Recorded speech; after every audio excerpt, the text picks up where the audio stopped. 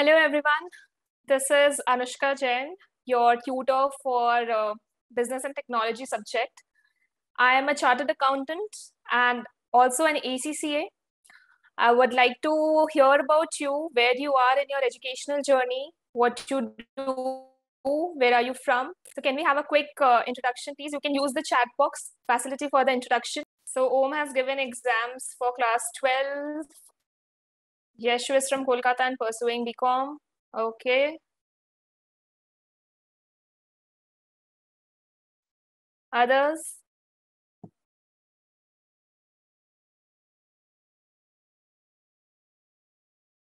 Mahi, Paras, Tushar, Zakia. Okay. Mahi. Paras is Rishita. Okay. Uh, Paras, from the next time it, uh, when you log into the class, please use your uh, correct name. Rishita, yeah.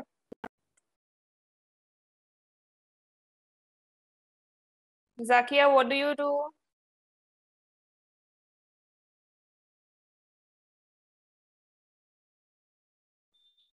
No issues, Rashida. You can use it. Uh, you use your own account from the uh, login ID from your own account. Um, okay. So thanks you. Thanks a lot for that quick introduction.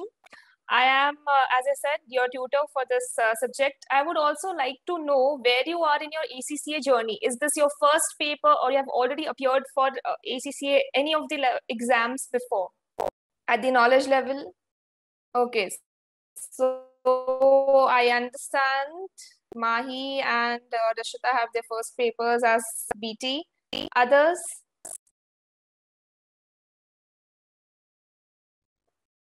Zakia also says first paper. Zakia, can you introduce me? Uh, what do you do? Where you are in your educational journey? Where are you from?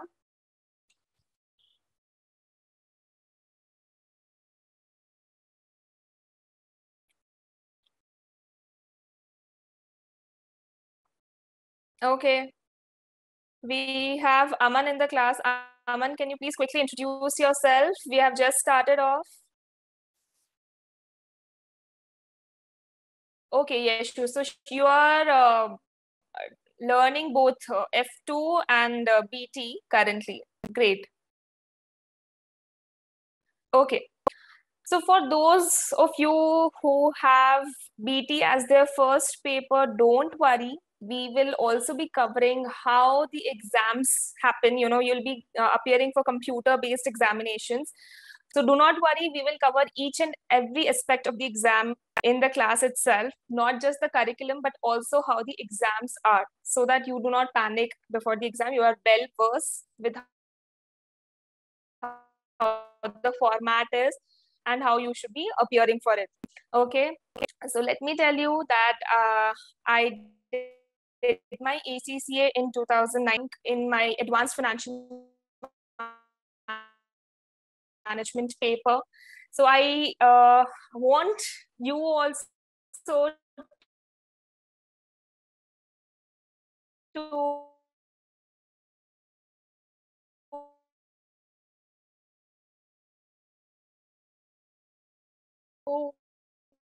you know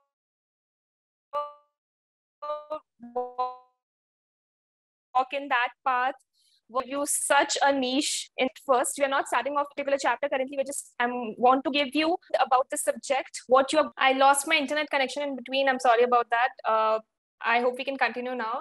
Uh, yes. So in this paper uh, in this uh, deck i'm going to give you an introduction about your paper look need to know any understand the subject that okay? So let's move on. So overall aim of the syllabus see you are entering into the business world now. So all of the discussion around the subject is going to see how business and its environment function in tandem and how different aspects different stakeholders affect the functioning of a business Okay. So there are going to be different roles of different people. You will be learning about the role of directors, shareholders. You will be learning about how the economic of a country affects the business and its performance. Okay. That is the overall aim of the syllabus.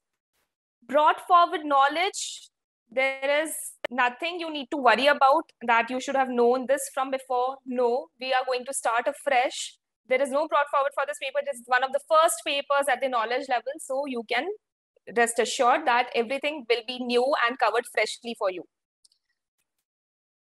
So link with other exams, how and where business technology stands in the ACCA scheme of things. So first, let's understand business technology is in your foundation level at the ACCA and you are going to understand different the foundation for the strategic business leader paper which is at the final level okay? The strategic level of acc exam. So please understand that it is a really important paper. You are going to be introduced to so many new aspects so many new concepts in this paper which is going to help you at the strategic level itself. So remain focused keep asking questions. if if you do not understand anything, you can pause me at any time and ask me if you want me to repeat any point, you want me to explain something again, we can do that. But do feel confident in whatever you are studying. You should be 100% sure of what you have learned because this paper is has direct link with the strategic business leader at the final level. Okay. Any queries still here? Are we good to go ahead? Great. You want me to slow down if you feel that we are going very fast? That also you can tell me that um, let's pause a little let's spend some time more. We can do that. Let's have a very interactive class. It's not a one to one class. It should be both ways. Please keep telling me that this is where you feel you are not very confident and we will work upon it. Okay? Others are we good to go ahead any queries? We have just discussed what the foundation of this paper is and where it is in the ACCA scheme of things and how it is going to help you in your future. Okay, Yashu. Next. Now comes the most important question as to how the CBEs look, how the computer-based examination look. Okay. So firstly, how many of you have ever appeared for a computer based examination anywhere be it your class 12 11 your bcom anywhere you have appeared for computer based examinations before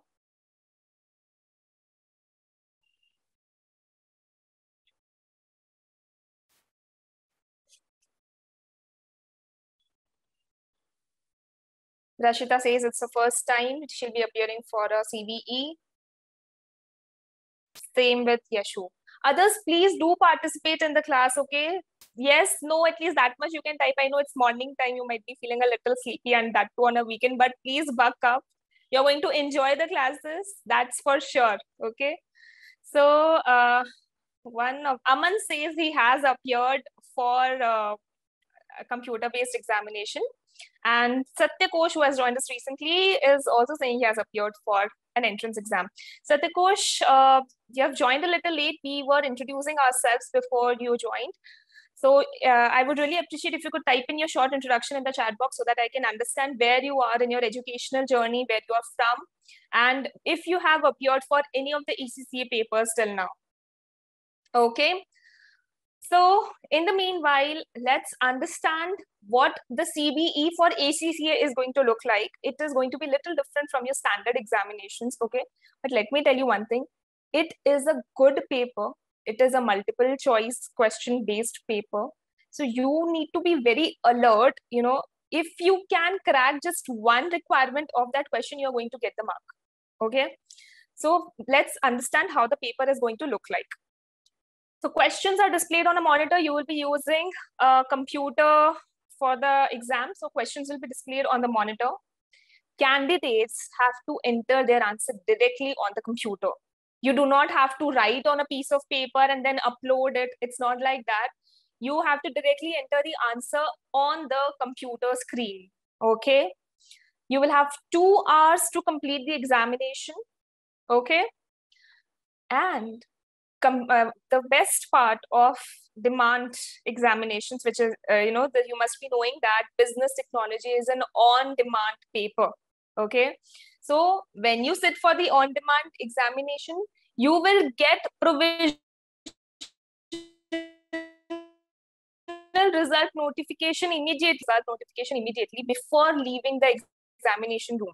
So you'll get to know whether you have, you'll get a fair idea of whether you have passed or not successful in the examination. Okay. The CBE licensed center uploads the result to the ACCA, the, your page, as proof of the candidate's performance within 72 hours. So within three hours, you will get your proper final results. They can check their exam status on the ACCA website by logging into My ACCA. So I believe you all have created your My ACCA accounts. Have you or have you not? My ACCA is the basis of your ACCA journey. You are going to use it even after you become an ACCA, okay? So do create your ACCA uh, account. Rashida, please do create it ASAP right after the class. Do create your account on my ACCA. You will get the uh, link on the Google. Just type in my ACCA and you will get the link. And you should create your account with the credentials you must have received while uh, registering for the exam. Others, have you created your ACCA uh, account, my ACCA account?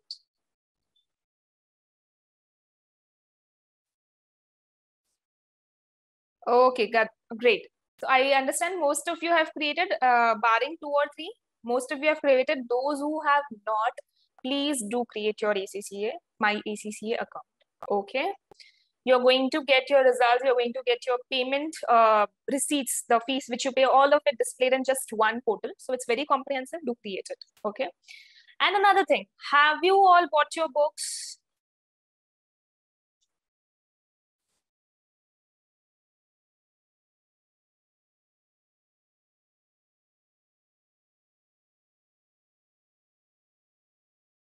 Okay, Yashu has placed, Rashita has ordered. Great. So we are going to use BPP study material and BPP practice kit in our class. So I understand most of you have ordered and you will receive it within a week maximum because that's how much it takes. So once you receive the books, you know, have them properly. Um, we will constantly keep on using the practice kit uh, when I will give you the homework. So use them. We are going to cover the study material in the class itself okay? So sometimes i might ask you to refer to particular pages but that's all. Everything will get covered within the class okay? So you are well versed. You don't have to read through a lot of material. Refer to the class notes refer to the pr kit and sometimes references of the study material and that will be it okay? So we are through with how the cbe exam will happen now, what are the, let's understand what are the benefits CBE is offering you. So you have the flexibility benefit as in you can demand the exam, you can sit for the exam anytime you want. In fact, please understand once you are through with my classes, you can demand for the exam, sit for it right after the classes. You know, when everything is fresh in your head, when you would have revised, of course, give yourself some time for revision and then sit for the exam that's the best thing you can expect. You know just finished with the classes you're fresh you have everything in your head you can sit for the exam directly okay? So that's the flexibility cbe is offering you. So it is a good thing it is a bane okay? Resets okay if you are not able to clear which is very unlikely i'm telling you because if you are you know regular in my classes keep on asking uh, queries if you are through with everything, confident in whatever I've taught you, it won't happen. But God forbid, if it happens that you're not able to qualify for the exam in the first attempt, you can resit for these first seven modules at any time, and there is no restriction on the number of times a candidate can sit for CBE. You can sit for n number of times, there is no restriction. But I hope it doesn't come to that be regular in the classes study along work very hard you can do it in the first attempt itself okay? It's no fun to give an exam again. You have to study everything again. So it becomes really really daunting task. Let's not go that route. Study very hard in the first attempt itself so that when you are sitting for the exam right after the classes you are through with it Okay. And let me tell you some very good news. The pass percentage of this paper, people who are actually getting to pass this, is approximately 80 to 84%. And that is the data from the ACCA website. But how does that happen? Does it happen just because the paper is easy? It's not like that. Okay. The paper is technical. You will have to learn a very, you know, a lot of models, mental laws, metrics, and I'll keep on teaching you all that stuff. Paper is technical, but the thing is, if you are through uh, if you listen to the tutor properly, if you're regular in the class, it is not a very difficult task to clear off in the first step. Okay, so the pass percentage is 80 to 84% in this paper. Instant feedback, as I told you before, you're going to get a provisional result notification right after you are done when you have submitted the paper. Okay, as the computer displays the results at the end of the CBE. So CBE is computer-based examination. Are we clear till now? You now know you have got two hours for the paper. Okay. Yes, Aman, you have a query. You can type it in the box and let me know.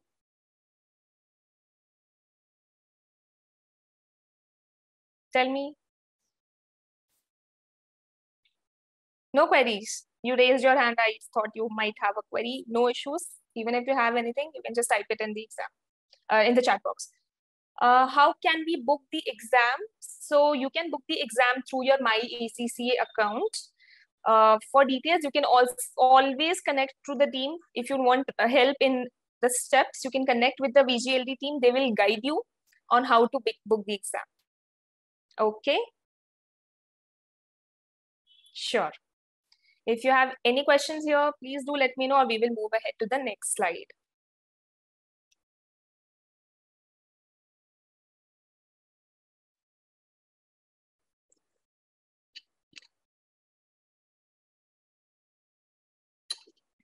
Okay. So we will move to the next slide now.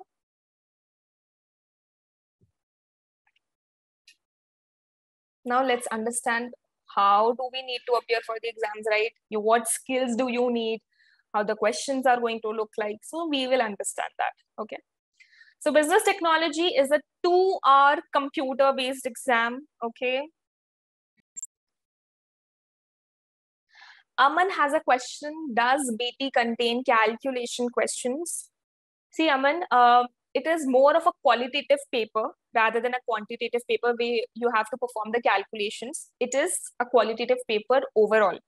But there can be some questions where you need to perform little bit of calculations. Okay. So that in that case, you will be given with multiple options. Like for example, the answer is maybe 12 so in the drop down list, you will have 12, 14, 16, 18, like that. And you'll have to select the option, the correct number from that list. That is how BT is. Okay, so it's more of qualitative, bits of quantitative. Okay. So yes, coming back to how the paper is going to look like, there are going to be two sections, section A and section B. Okay. So section A carries 76 marks how it is split, let's understand that. So there are going to be 30 two mark objective test questions. So each question is going to carry two marks, okay? And 16 one mark objective test questions. So by objective test, we mean that there it is going to be multiple choice, okay? You have to select the option. But understand that within section A, there are going to be two types of objective test questions. One of them, one category will be carrying two marks each and one category will be carrying one mark each. So obviously the two mark questions will be a little more comprehensive and a little difficult, but I'm sure uh, if you read the requirement of the question correctly, if you're through with the classes, it's going to be an easy task. But yes, understand that there is no partial marking in section A because there is going to be only one correct answer. If you select that answer, you will get the mark. If you do not, your mark is gone. Be it two mark, be it one mark question. Both of them, do you have to appear, the, choose the correct answer only to get the full mark or you will get zero in that. So 30 two mark questions and 16 one mark questions. So basically 60 plus 16, that makes the 76 mark component of section A. Okay. And section B is going to contain six questions, four mark each. Six questions of four mark each. And please understand, all the areas are equally testable in exam. There is no special or fame, uh, you know, uh, likable area of the examination. No, it's not like that. It can come from any area of the syllabus. It's going to contain four mark questions, six of them. Okay, that is how section B is structured. We are going to see what type of questions are going to come in section A or section B. So do not hurry over there. I have it covered in my slides, but that is how the overall structure of the exam paper is going to look like. Section A, 76 marks. Section B, 24 marks. That makes up your 100 mark exam. And you have two hours for the paper. Okay. So can you do a little bit calculation for me? Uh, two hours means what? 120 minutes, right? You have got 100 marks. So can you tell me how much time you can spend per mark in the paper? You have got 120 minutes, 100 marks. So if you have to do your planning of the paper, how much time you can spend on each question, how will you do it? How much time can you spend for each mark? Right, Mahi? It's going to be 1.2 minutes. Okay, 120 divided by 100. So if you are appearing for a one mark question, maximum you can take one hour 20, uh, one minute 20 seconds and same goes for uh, two mark questions 2.4 minutes maximum okay so you need to time see i'm not asking you to time each and every question then you will use more time timing the question. But overall you should know that by the time i have completed let's say section a i should have this many minutes left for part b section b of the paper. I don't want you to you know struggle for time to appear for the uh, questions. Okay? So that is why i'm asking you to plan this by when we will be studying along now you will get used to this time. And i'm uh, telling you you are if you are good if you have studied the paper well you will be able to complete it within this 1.2 minutes stand standard. Okay? Is that here to all? Any questions? You know how the exam structure is going to look like. It is going to be containing two sections. Each and every question is compulsory. There is no option uh, get away from that you know uh, idea where you used to get uh, optional questions in your exams. There is not going to be any option in the acca papers. All the questions are mandatory. Okay?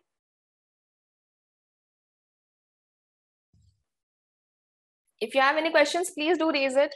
We are going very slow so that you all feel confident. Okay great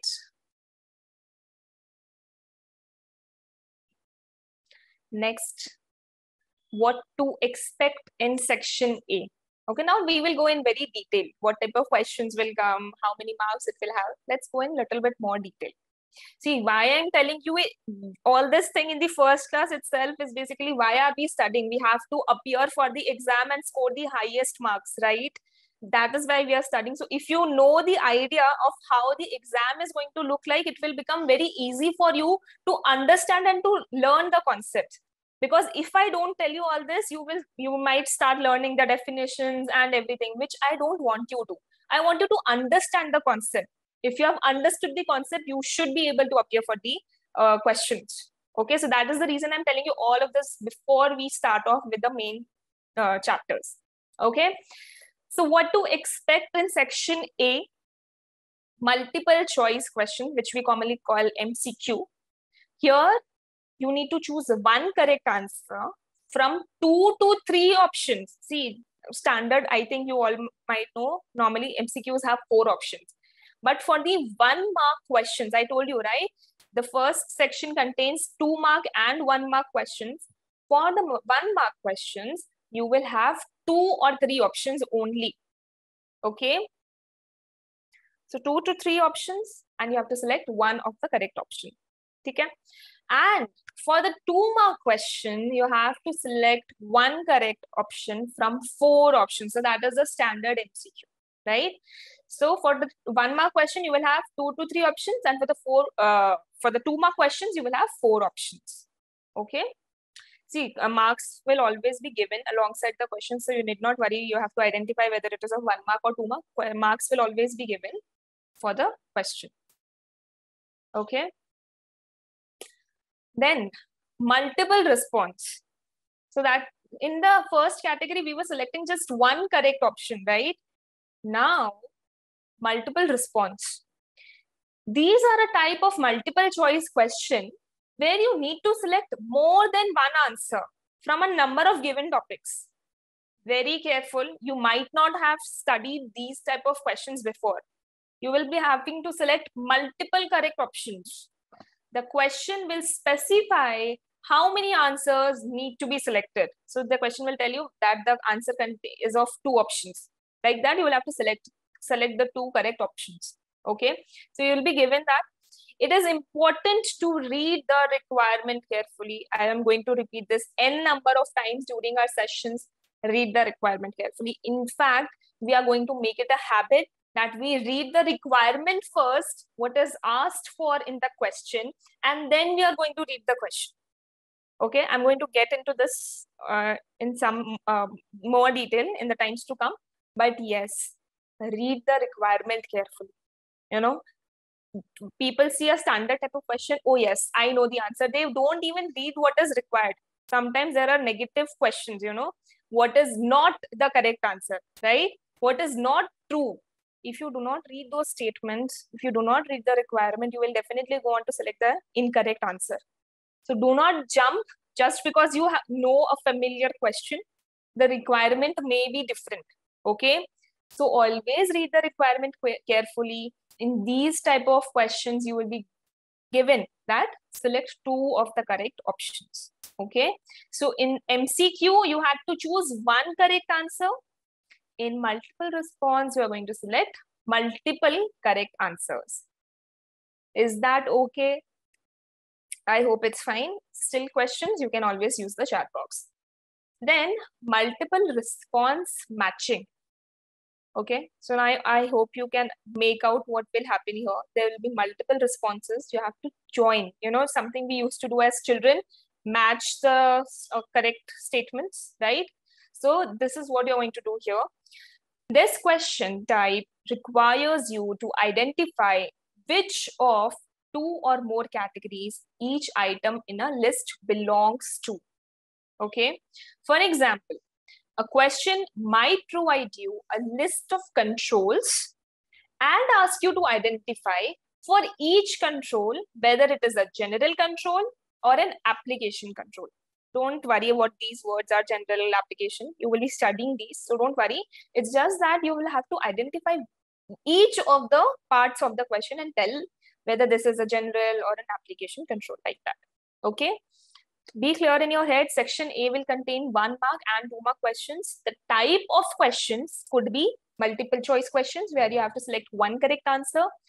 Multiple response questions where you will have to select multiple correct answers.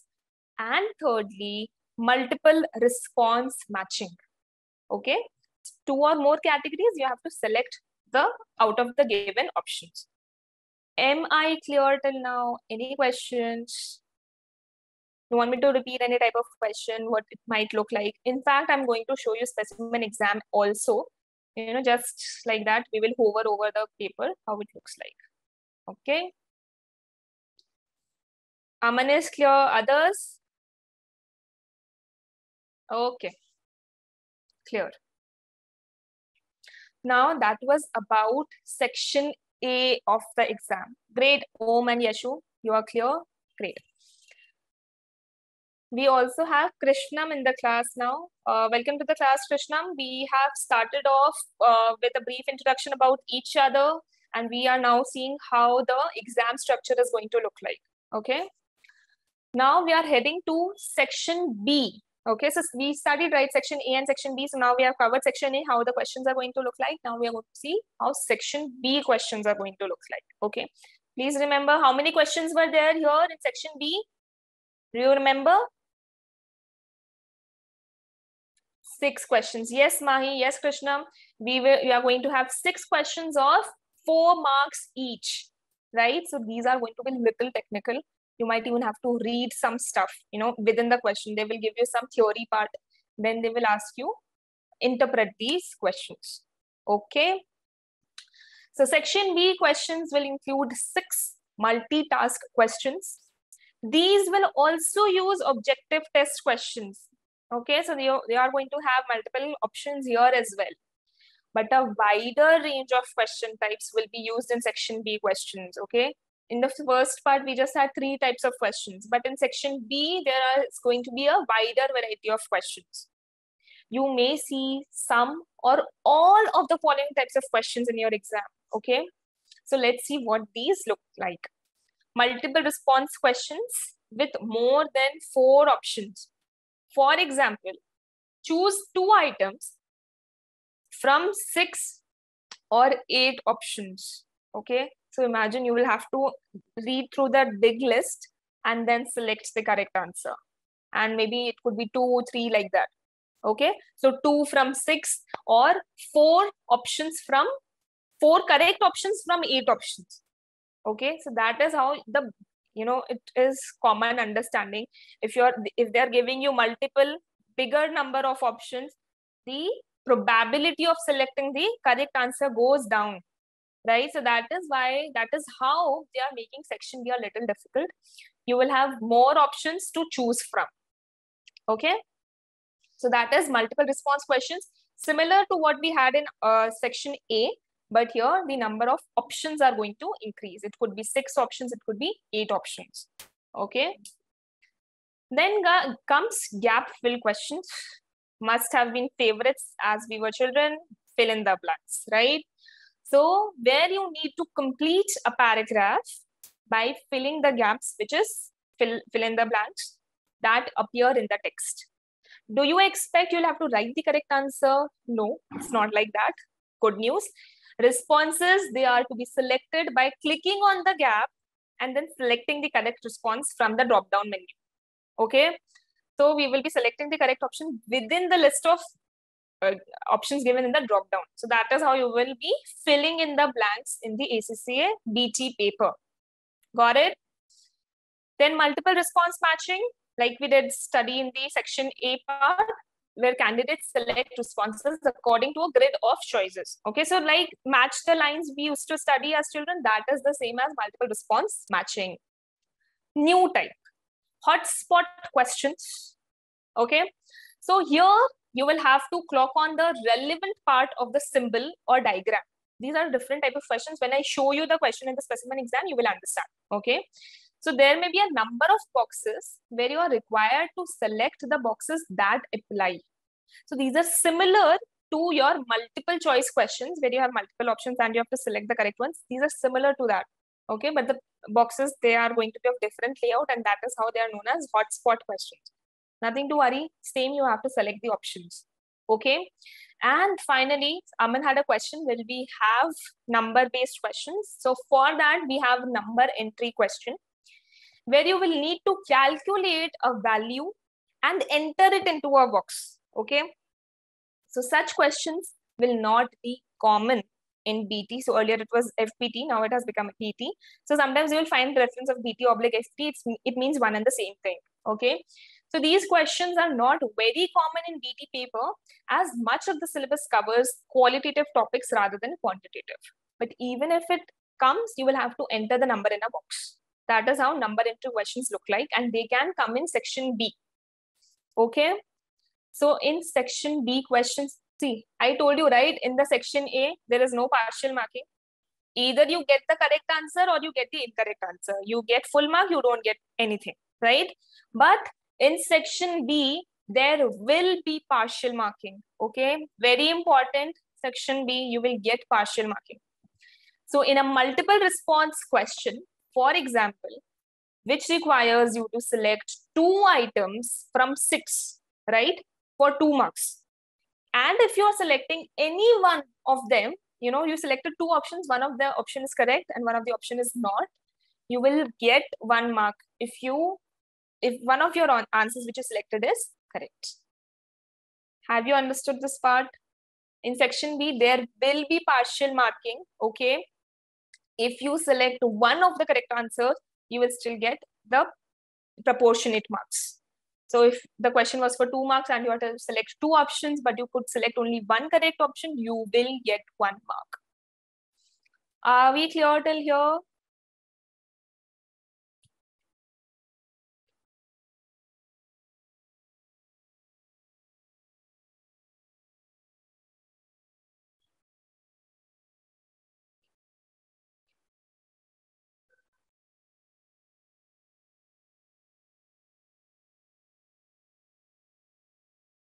Getting yeses from everyone, great.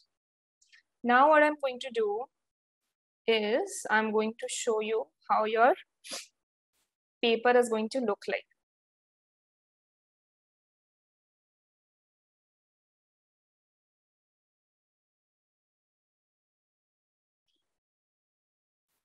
So this is the ebook section where I can access my ebooks. This is the BN Business Technology PR kit.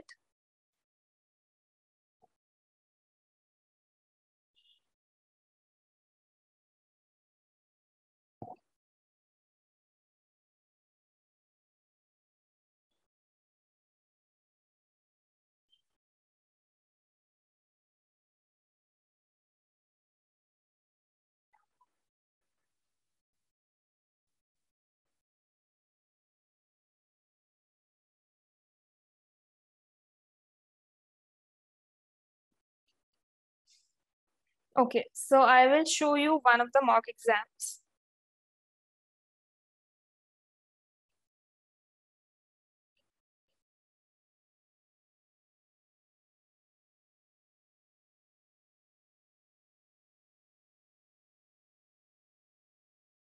I hope you all can see my uh, Chrome screen, right? You can see the mock exam on your screens. Please type in a yes if you can. Great. Thank you. So I'll show you how the mock exam looks like. So time allowed is two hours. Section A, how many questions will be there? 46 questions, right? 32 mark questions and 16 one mark questions. So there are going to be 46 questions in section A. And section B, you're going to get six questions. So all of them must be attempted. That is what the instructions say. And then come to this part where the questions actually start.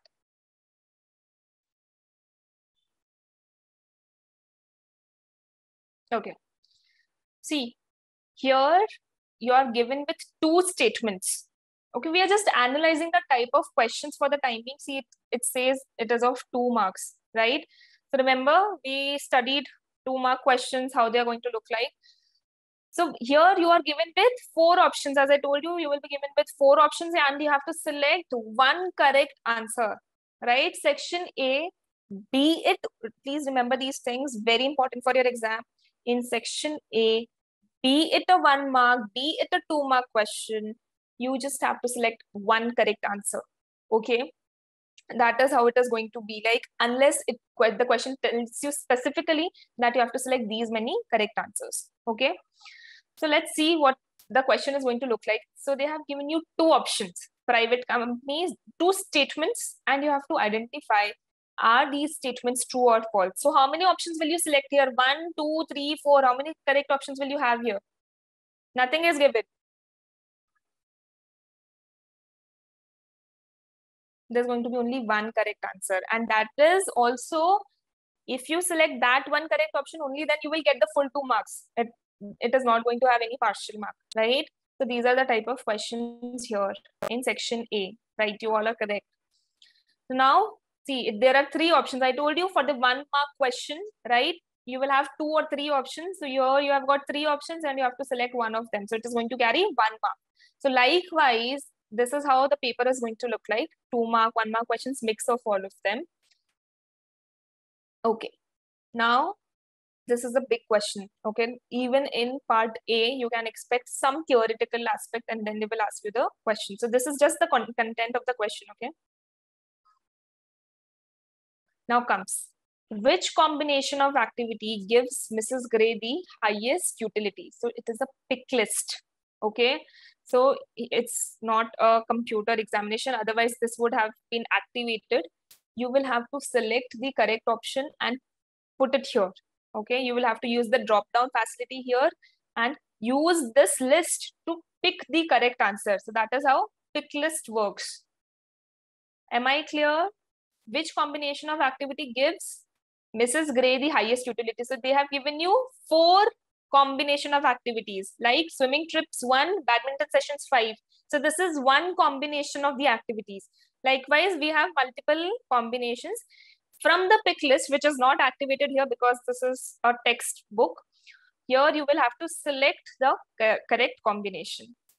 Okay, am I clear? This is a little different type of a question, but yes, it is to be selected from the drop down. Am I clear? You want me to re-explain this type of a question? Clear. Okay, great. Here again, two mark question, four options. You have to select one.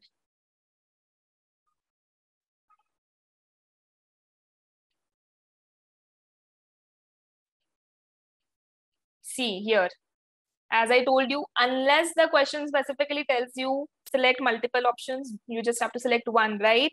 Look at this question. Which two would Marge come recognize from her workplace? Two options. See, they have even helped you out. They have given it to you in bold. You have to select two options here. Okay, so multiple response. Be careful in these type of questions. You will only score correct marks only if you select both the correct options. Okay, so it's very, very tricky.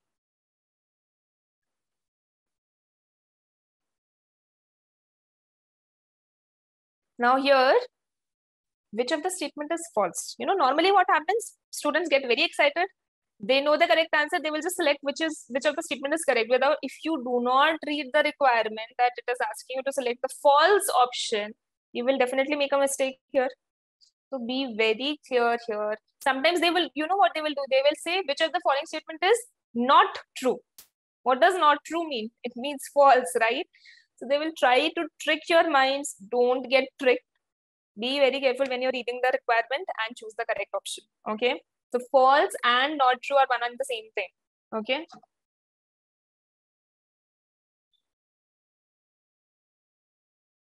Again, a pick list type of a question. So what will happen no, when you click on this drop down in the exam, no, here they have given it to you here in uh, this, in this way when you will be uh, in the exam, when you click this drop down, these things will appear in the list of options there. Okay, and then you'll have to select the correct option. That is how the pick list questions work. Which of the following is not an offense relating to money laundering? So, out of these, three will be offenses related to money laundering. Yes. And one of them will not be an offense related to money laundering. So, you'll have to select the offense which is not related to money laundering.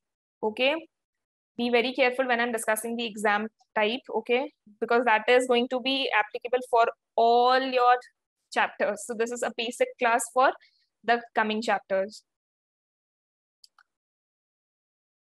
See here, in the context of uh, Tuckman's model of team development, which of the following sequences of stages is correct? So we will be uh, learning about this model. So here you'll have to select multiple options. See, uh, two mark questions you'll have to select from each of these pick. So that is how the questions will look like. So do not think it is a very easy paper and just uh, be very lazy throughout the session and then finally go for it. It should not be like that. The question types are different. You need to be very well versed with the toppings. Only then you will be able to correct. Uh, you will be able to choose the correct op options in the exam. Okay. Okay. So we will quickly move on to section B now. Section A, that is how it is going to look like overall.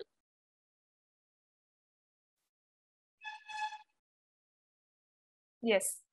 So after 46 questions, see 46 questions in section A, after all of that is done, they will start off section B. Now comes section B.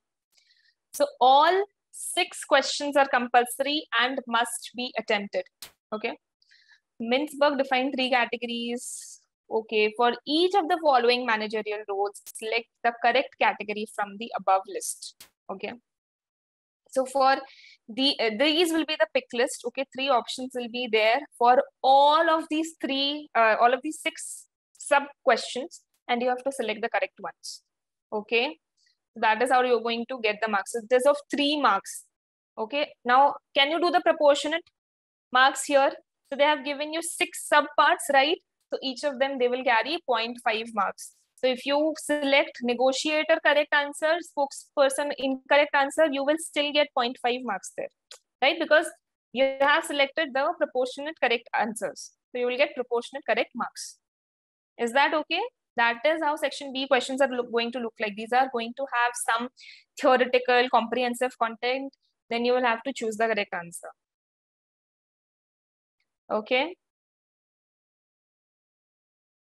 So similarly here, they have given you one mark, so total four marks. So you have to select, these are all partial marking uh, eligible. So here now, they will give you a story before. Frank, Gloria, Helen. So they will give you different type of storyline. See, answers, they will not ask, I mean, the question will not be very specific. It will try to link some model which we will study in our classes with the content which they have given before the question and then you'll have to understand yes this model is applicable here. Let's answer the questions using that model. They will not give in the question under this model what all options are applicable. It's not going to be like that. They have given you a situation. These are all going to be situation based questions okay? Read the situation very carefully but always remember before reading the situation read the requirement first so that you know what is asked in the question. You don't read do a story reading in exam story reading in exam is not possible. You don't have sufficient time. So first read the question you know what is asked and then read the theory part the situation in the question. Am i clear?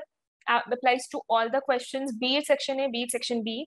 Wherever you see the question is very long read the requirement first what way you will have to do later on and then read the situation. That is standard okay? And let me tell you this. This concept which i'm telling you read the requirement first and then read the content is going to be helpful throughout your acca journey. You know strategic business leader paper which i'm telling you has a linkage with this paper it has only one question of 100 marks.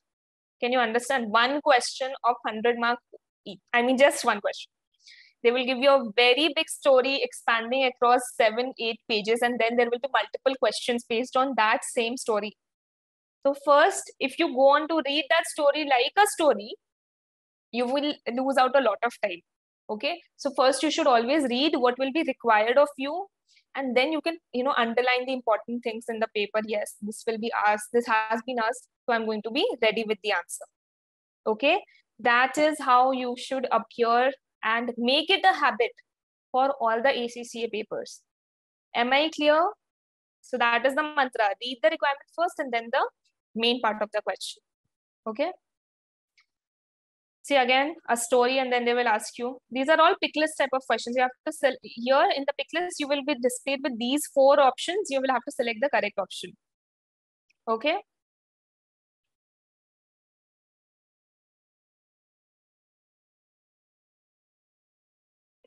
We don't have any hotspot questions here.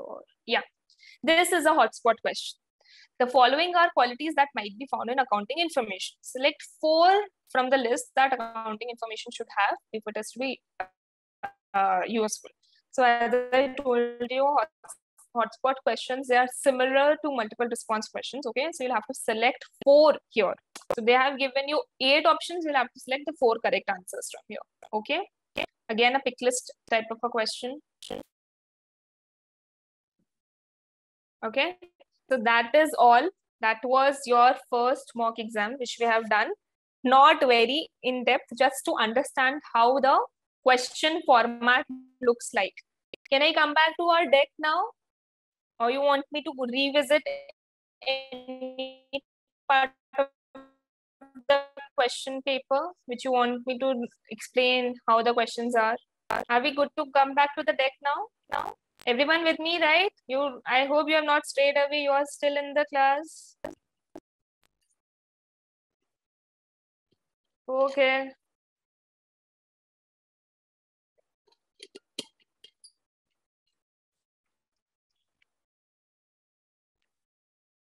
Only yeses from Yashu, Yeshu and uh, Aman. Others, you still there in the class? Okay, please be interactive. Otherwise, if I keep on talking, even I'll get bored. So if you keep on talking, yes, ma'am, we are there.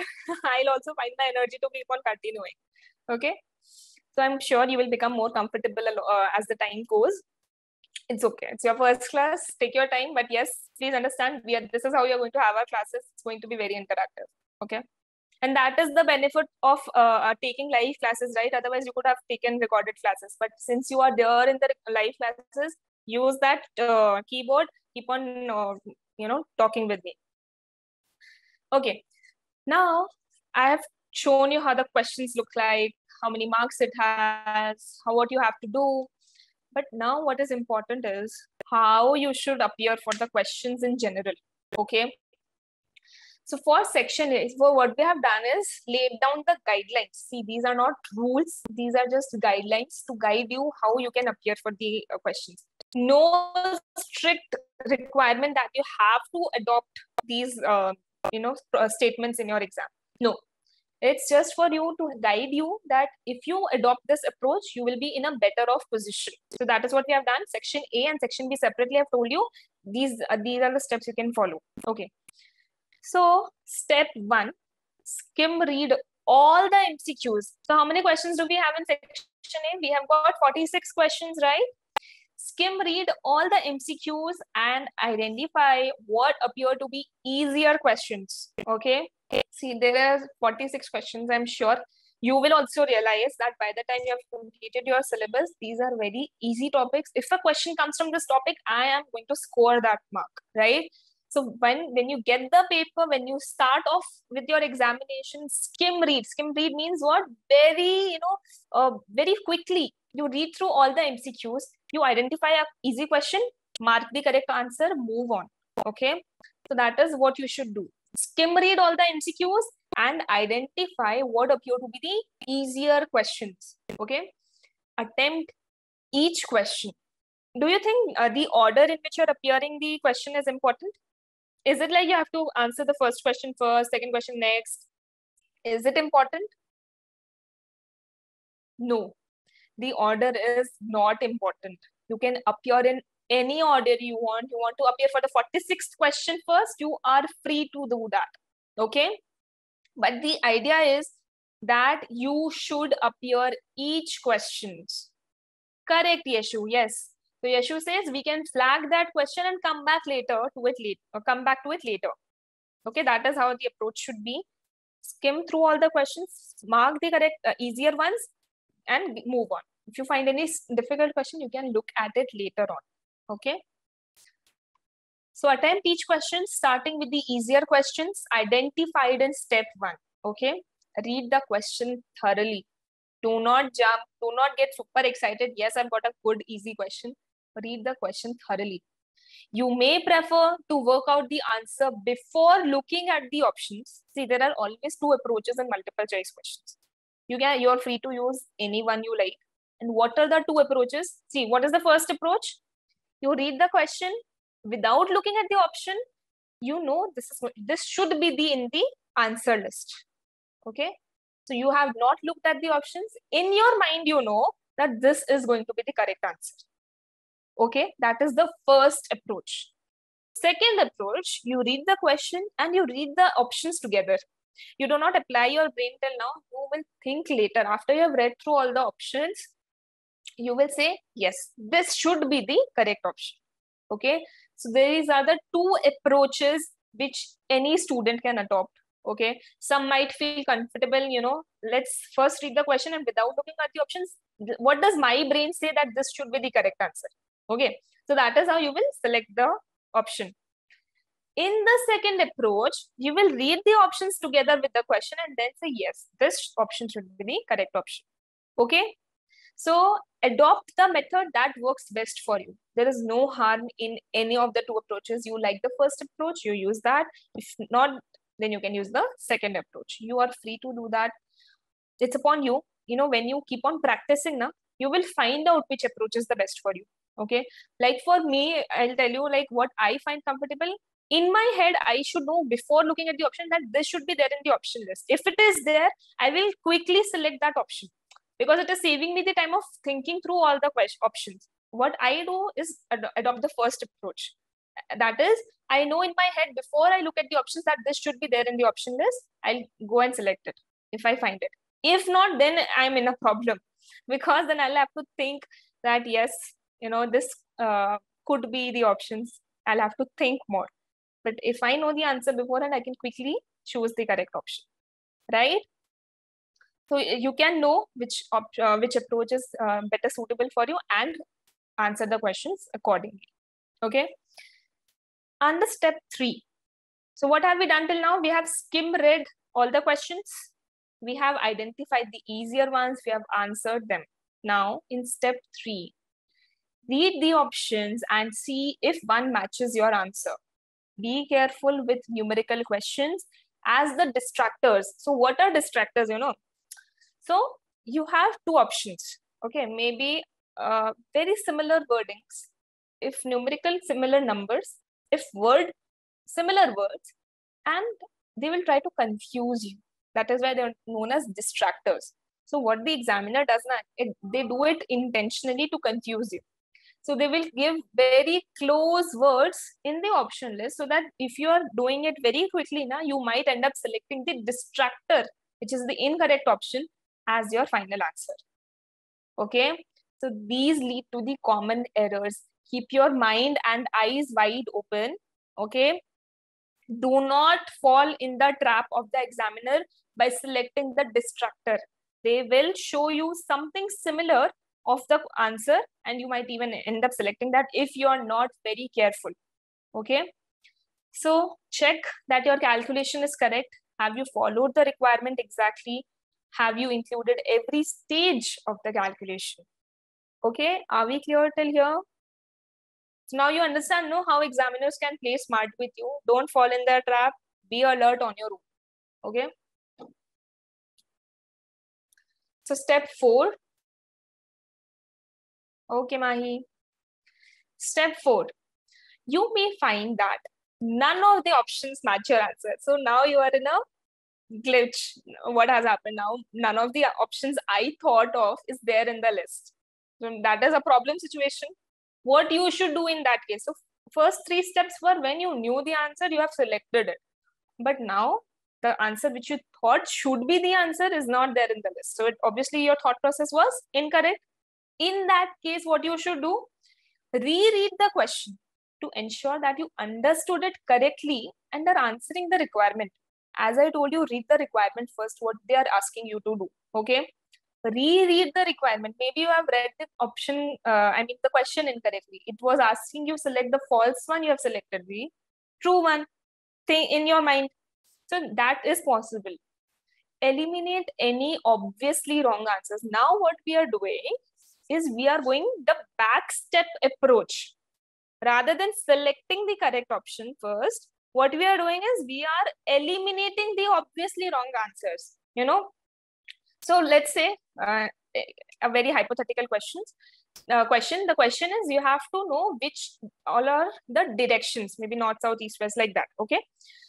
So you have to identify the option which have the directions in the options right so north south east and west are the correct options. But in the exam you are given with let's say north east and maybe some two different words which you are very clear are definitely not directions okay? So in that case maybe like north cat dog south that is what the four options are. So what you will do you should definitely eliminate the obviously wrong answers that yes these cannot be directions right consider which of the remaining answers is the most likely to be correct and select the option so what you have done you have eliminated eliminated dog and cat what are you left with? North and south, right? So in that case, you need to select the most likely correct option. If the question, if the answer which you thought is not there in the list, this is the approach you should follow. Take the back step approach, eliminate the obviously incorrect options and then select the correct one. Okay. So in this way, do you know what you do? You reduce your probability of selecting the incorrect option, right? You know that this cannot be the answer. Why spend my time on it? eliminate it and then focus on the remaining two and then think what uh, which of the correct option is more applicable to the situation okay that is how it should be step 5 If you are still unsure, you have tried everything, but you still cannot find out the correct option, make a note and continue to the next question. Rather than banging your head on that one question, move on. Okay. Please understand that the clock is ticking. You will have just 1.2 minutes per mark on an average. Okay. Sometimes some question will not take that much time and you will save some time in some questions. But overall, on an average, you just have 1.2 minutes per mark, right? So do not bang your head on just one question. If you can't answer it, move on, right? So make a note and continue to the next question. Am I clear? And finally, in step six, now I'm going to give you some bonus information here. Be very careful. Revisit the unanswered questions. So what you will do, you will leave all the questions which you cannot think of and complete the paper. And you will have some unanswered question. Revisit them. When you come back to a question after a break, you may find out you are able to answer it correctly straight away. You know sometimes it happens. That how that's how the brain functions. It sometimes doesn't give you the information at the time you asked for it but later on it you will find that it is there in your head right? You have studied everything. You should definitely be able to answer it right? So now you might be able to answer it correctly straight away if you're still unaware make a guess. You are not penalized for incorrect answers okay? Please understand there is no negative marking in acca foundation level papers. If you do not know the answer close your eyes think what should be the right answer and go for it. Do not leave any question unanswered. That will be a very wrong thing to do because now you know that there is no negative marking in a lot of professional exams there are negative markings and people choose not to select the answer if they are not very confident. But in acca there is no negative marking. Select the correct option and move on. No if you do not know still select one of the options. Okay?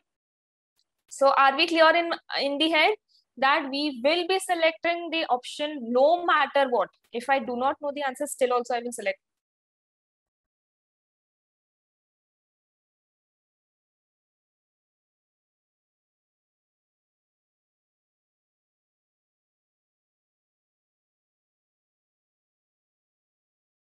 options not be the answer definitely. So out of the remaining three i will select. Am i clear till here? Okay. Aman says yes. Others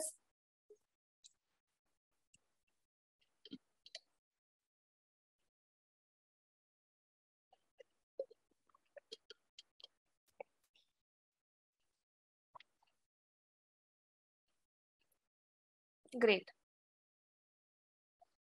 So I've got a yes from everyone. Very good. You all are very responsive. I am very sure you are able to follow me. Okay.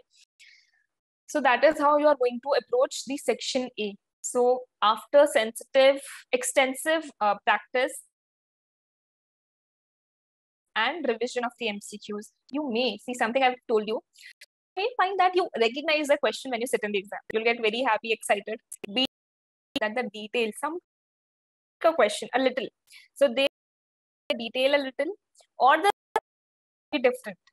If the question seems familiar, still read the requirement, okay? Select the answer. Assume That it is. It could be a different question, although it is okay. So you need the entire 120 minutes. Now comes what you for type questions. The recommended approach to ask questions is right. As I told you, you, there is a scenario. There is going to be a situation. Each multitask question is what multitask question runs to be around 300 quest story which was there those four different people there will be a situation can feel daunting important to know you are looking for the scenario. So what will you do first? Understand the requirement of the task first. Read the requirement and then understand the requirement required of you and read the scenario. This is our approach, okay? So what you can do, what errors I have listed that here, easy to requirement of a question. As I read it as true when it has asked false. So something similar can happen, giving the to the highest value. Okay, but asked if the so sometimes these type of errors can happen if you're not. Remember, 120 minutes. Keep your mind open all the time. Okay. Task. Think about the text I told you, right? When you are reading, you will realize that these questions relate to a particular model, Mendelow's matrix. That is, so you should immediately think, uh, you know, the thing about Mendelow's matrix and how it can be applied in. Okay, so when you read the scenario, you will now focus. Read the question. Uh, if you would have read scenario first and then read the question. Now you know that this is what we asked, you will now be alert through the scenario. That right? That is right. You know what has been asked. Focused when you read the story. Okay. Manage telling you constantly minutes per mark. Okay. Section, section is of what 66 so 76 into 1 uh, should be 91. Okay. Should give only 9 minutes to the first to the first section A. Remaining 20 right 129 minutes you should leave B. So approximately half section B, one and a half hour A. That is how you should have it. In, I have to complete the question this much time. Okay do not answer the questions in any order. Play with your exam students. This particular uh, topic is easy. I will answer first and then move on. So section B, it's nothing new. Told you for uh, how to attempt the questions. It's just that be alert, read the requirement first and then the scenario. That is the gist of what you need to do for section B. Am I clear? Any questions still here? Great, Rashida. So that is about the introduction of business technology paper. Okay, I've told you how the questions look like. I've showed you mock exam also. Okay, so 76 and 24 marks. That's how the split is going to be, right? This table will be very helpful. 32 mark objective questions and 16 one mark objective questions and six four mark multiple task questions. So that is how the paper breakup is going to look like. Two hours long, 1.5 hours for section A, half an hour for section B. That is how you should split your time. No negative marking, select the option even if you do not know the correct answer. Am I clear? Okay, and I've told you what all the different type of questions look like. It's not like only one answer will be correct. Sometimes they will ask you to select two correct options. So that is also possible. Clear? So with this, let's take a small break of 10 minutes. We will catch up after the break and start off with the first chapter of the business technology paper. Okay. So it's 11.16 now. We will catch up around 11.30. Okay.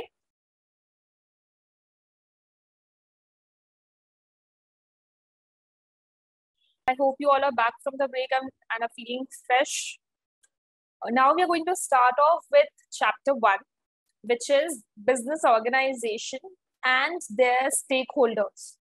Okay.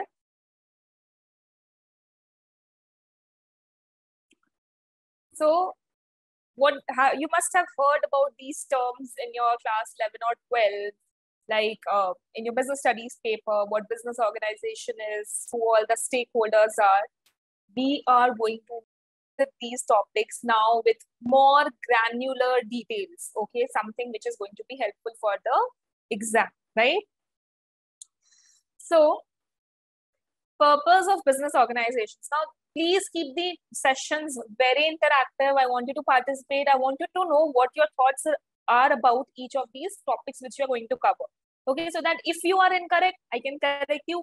If you are correct, then it's a boon, right? It's a plus point for all of us. So now we will understand what the purpose of business organization is, right? First, before we get into that, what do you understand by an organization? What do you think? What is an organization?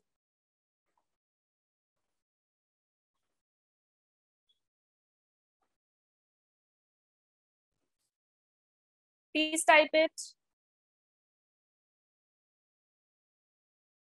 Krishnam says it's a group of people. Okay, you are not, you're right.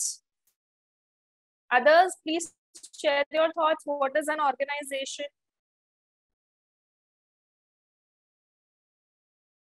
Parase, uh, Rashita says, a group of people working towards common goal. Very good definition. Now you have, see, Krishnam said a few things. Now uh, Rashita has improvised on it. She, has, she says that there are, these are a group of people working towards a common goal. Yes. So even people walking on the street, they are a group of people, right? But they, they are not an organization. So when people come together and want to work on a common goal, then they are said to have formed an organization. So yes, Om, you are also correct. So that is what an organization is. Others, please share your thoughts. Please keep these sessions interactive. Okay, so that is the overall idea. So that is a group of people, Satyakosh says, who form a business. See, forming a business or not is secondary, but yes, these are a group of people who have come together to do something together, right? It could be business or it could not be business. It could be something else, right? Zakia says uh, social arrangement for the controlled performance of the common goal, right? Very good. Aman Giri says community of people who work for certain goals and objectives. You all are correct. Just excuse me for a second, please.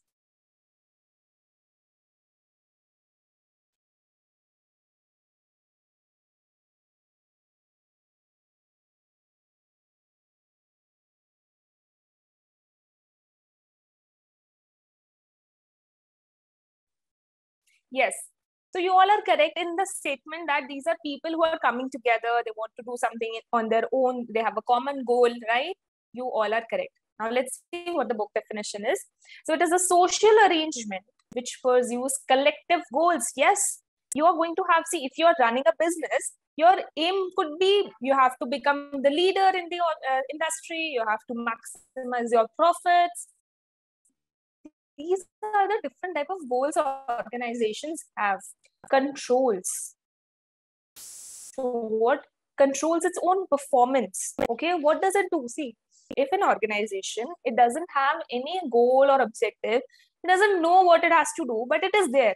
Will it be successful in the long run? No right? So these people when they are coming together they want to control their own performance. How do they do that? They will do some benchmarking that in this year we should plan to have this much profit. Let's say 1 cr of profit we should be making. So it will try to control its performance. It will try to increase its revenue to that, that extent. It will try to cut down on the costs so that it can reach its goal. So it will have to monitor it will have to control its own performance and has a boundary separating it from its environment okay?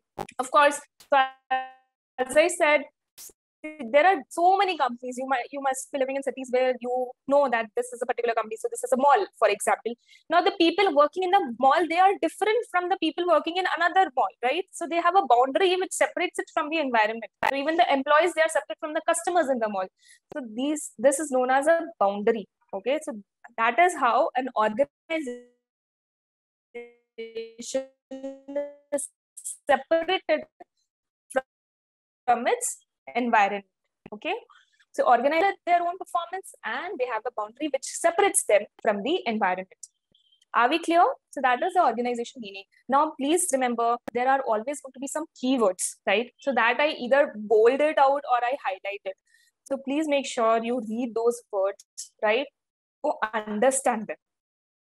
And that is important. Okay. So what all organizations have in common, right? It could be a lot of things. It could be the objectives, right? They will have to pursue different objectives, goals. Like for example, let's take an example of an e-commerce company like Flipkart. Okay. So what will be their objective? Now let's be very specific and talk about a company. You you can uh, you know build your thoughts around this company now. We are talking about Flipkart now. Why? Now, what will be the objective of Flipkart? What does it want to do? Why is it there? You must all be using uh, Flipkart. You must be, or if not Flipkart, you might be using Amazon. So these are all e-commerce companies. So what is their objective? Is it only to make profits? Yes, Yashu says to earn profit, but is it only to make profits? A first question, are these companies then profit? They're currently not. You know, they are expending more to capture. Yes, Aman has pointed out to capture the market share. They want to become the leaders, right?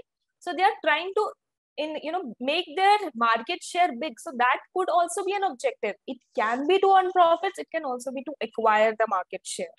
Yes? So these are the type of objectives which a company can have.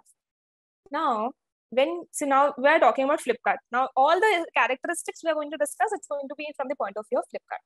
Now you can imagine how big of a company it is do you think there is only the owners who are working in that company or there are a lot of other people who are coming together and working together?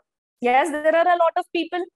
So they all specialize in some so there, there could be uh, financial experts there could be marketing experts there could be business experts. So these are all the different type of people who have come together to collaborate and work towards the uber objective of the company right so these are the different types of people who have a specialization in their own field coming together and performing their roles, right?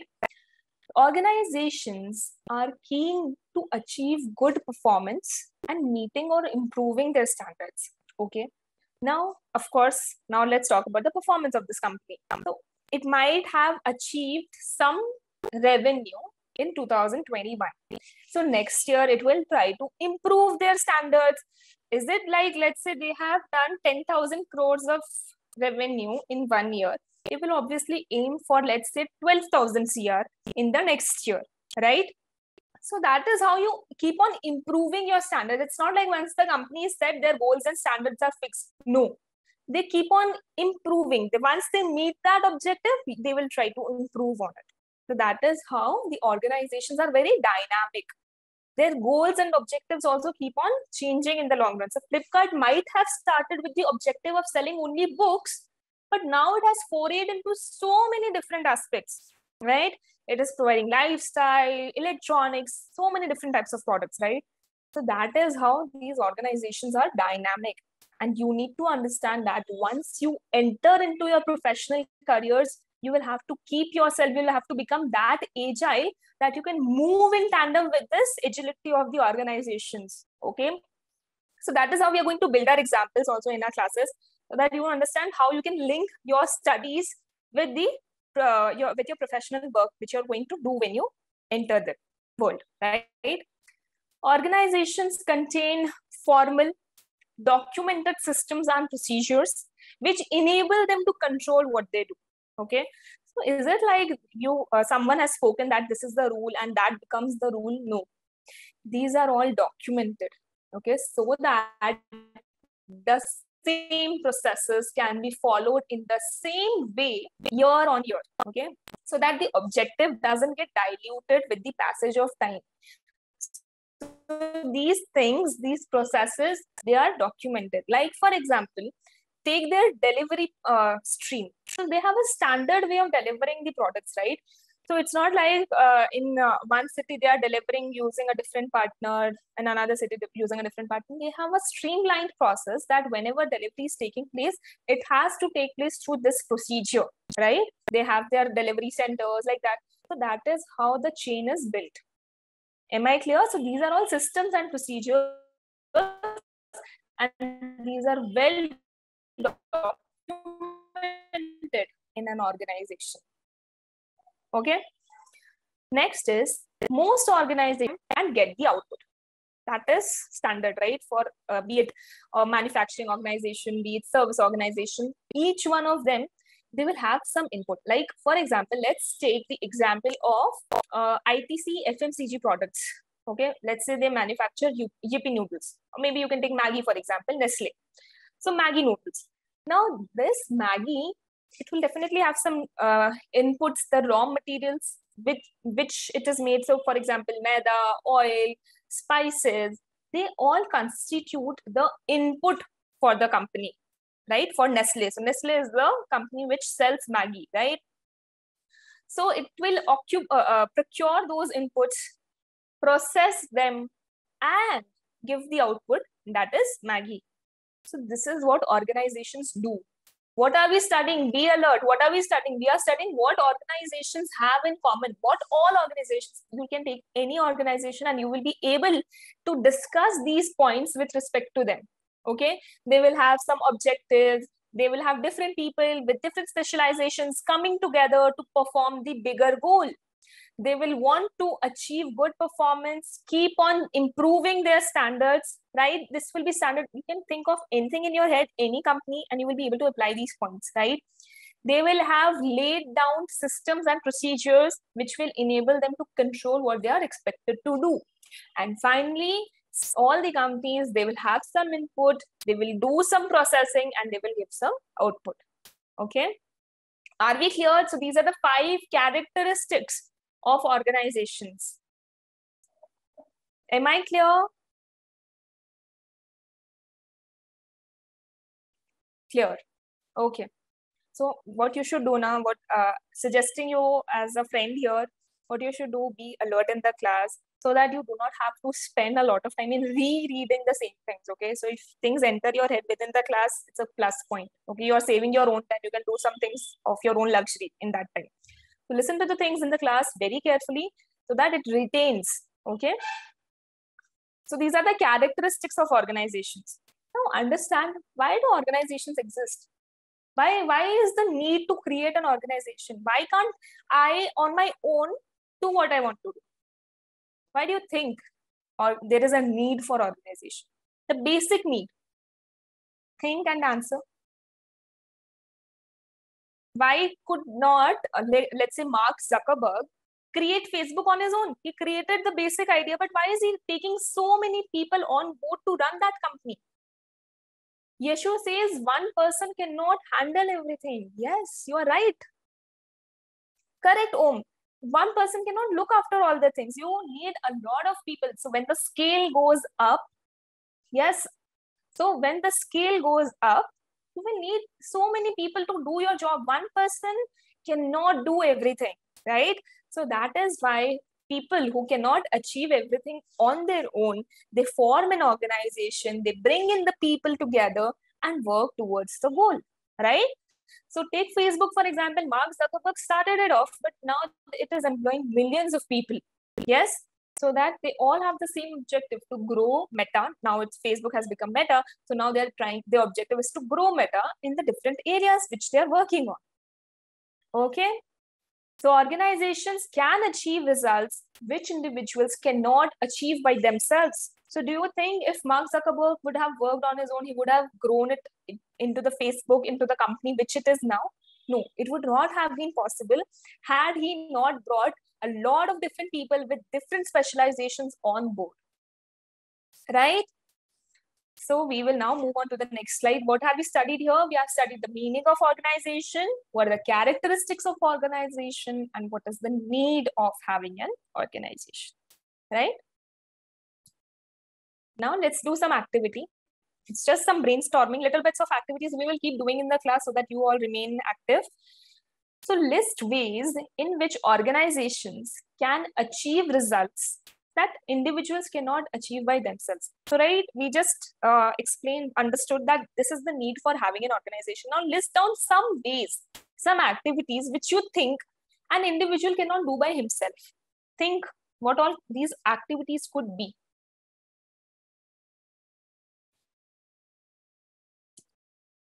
Just present your thoughts, what comes to your mind. Rashida says different people have different skills. Okay, give some examples. Explain using examples. You are right. What you're thinking is right. Absolutely correct. How an organization is helping them out, what exactly it is doing. It has brought people with different specializations. Very good point, Krishnan. Organizations enable synergy. Very good point.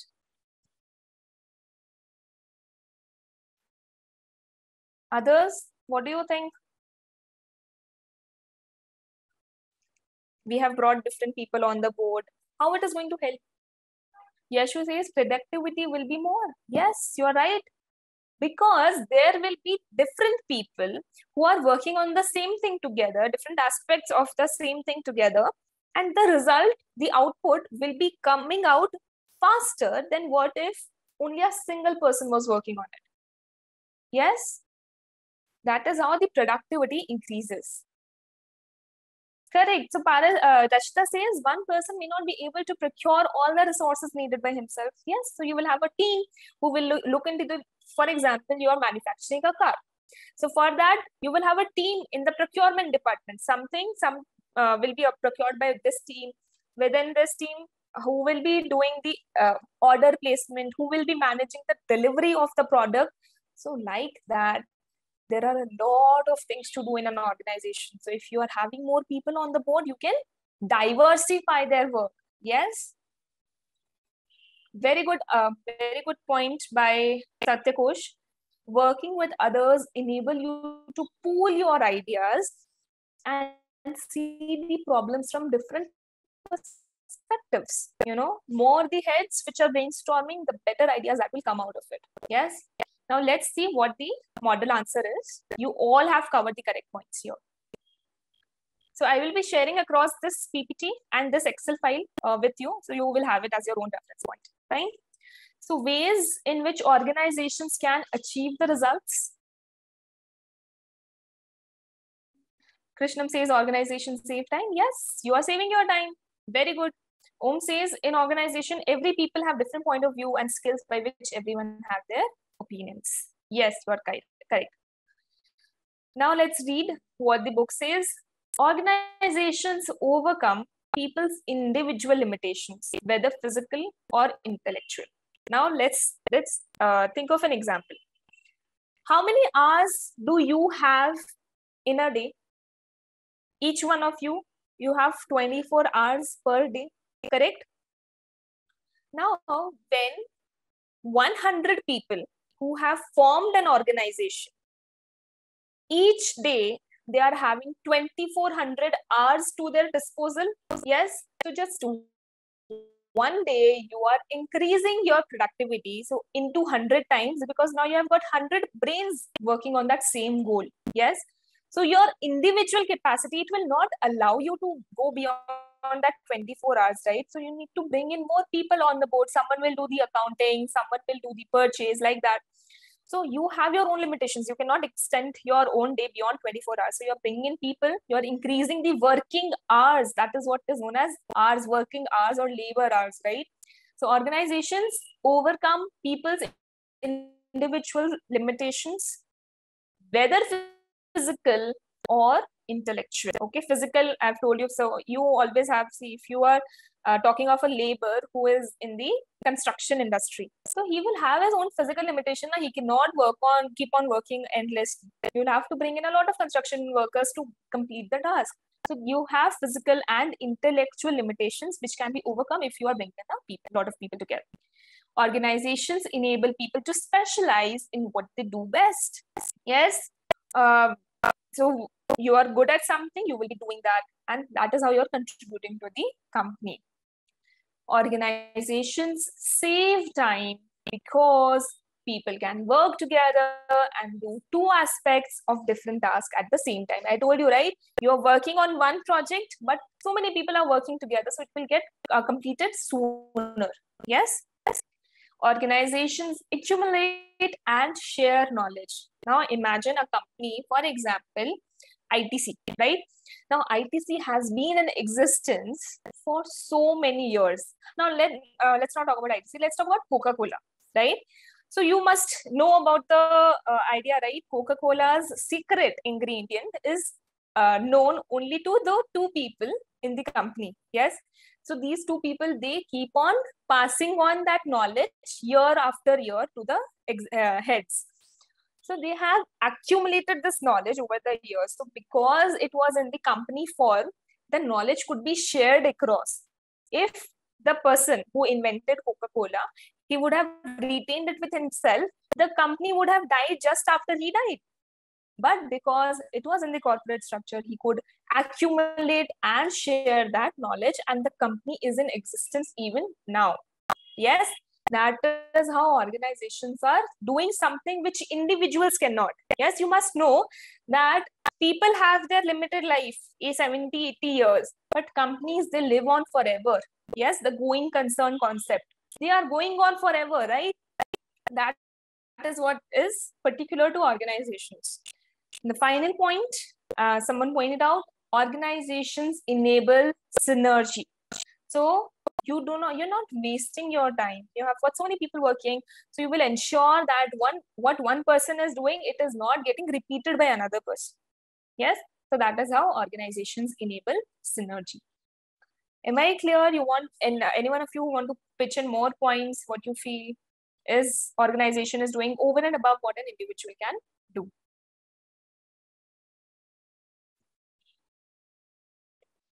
So we are good to go ahead. Then I'll come back to the deck now.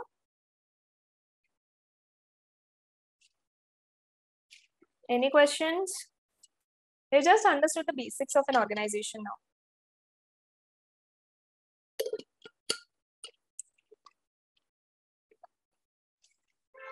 No, now I believe, I hope you understand the differentiation between people and the organization and how organizations are superior to individual people. So we just, just studied those five points. It can go on forever. It can create synergies. It can create specialization. So like that, organizations have more superior things than an individual himself. Okay. Now we have studied that how organizations have some common things, right? In this in this slide, what all organizations have, have in common we have studied but within this organization right right? So we have fmcg industry. We have so many uh, companies working in that. So itc nestle dabur. So these all organizations they are in fmcg industry. But do you think they are exactly ditto copies of each other? No. They all have some different attributes to them. What could be different is what we are going to study now so within the organizations, uh, you know, uh, the common uh, criteria of organizations, there could be some points which make them different from each other. Yes. So what are these points? Number one, ownership, private sector versus public sector. Okay. So you do you uh, know about the private sector companies and the public sector companies? Any idea? What do you think is private and public?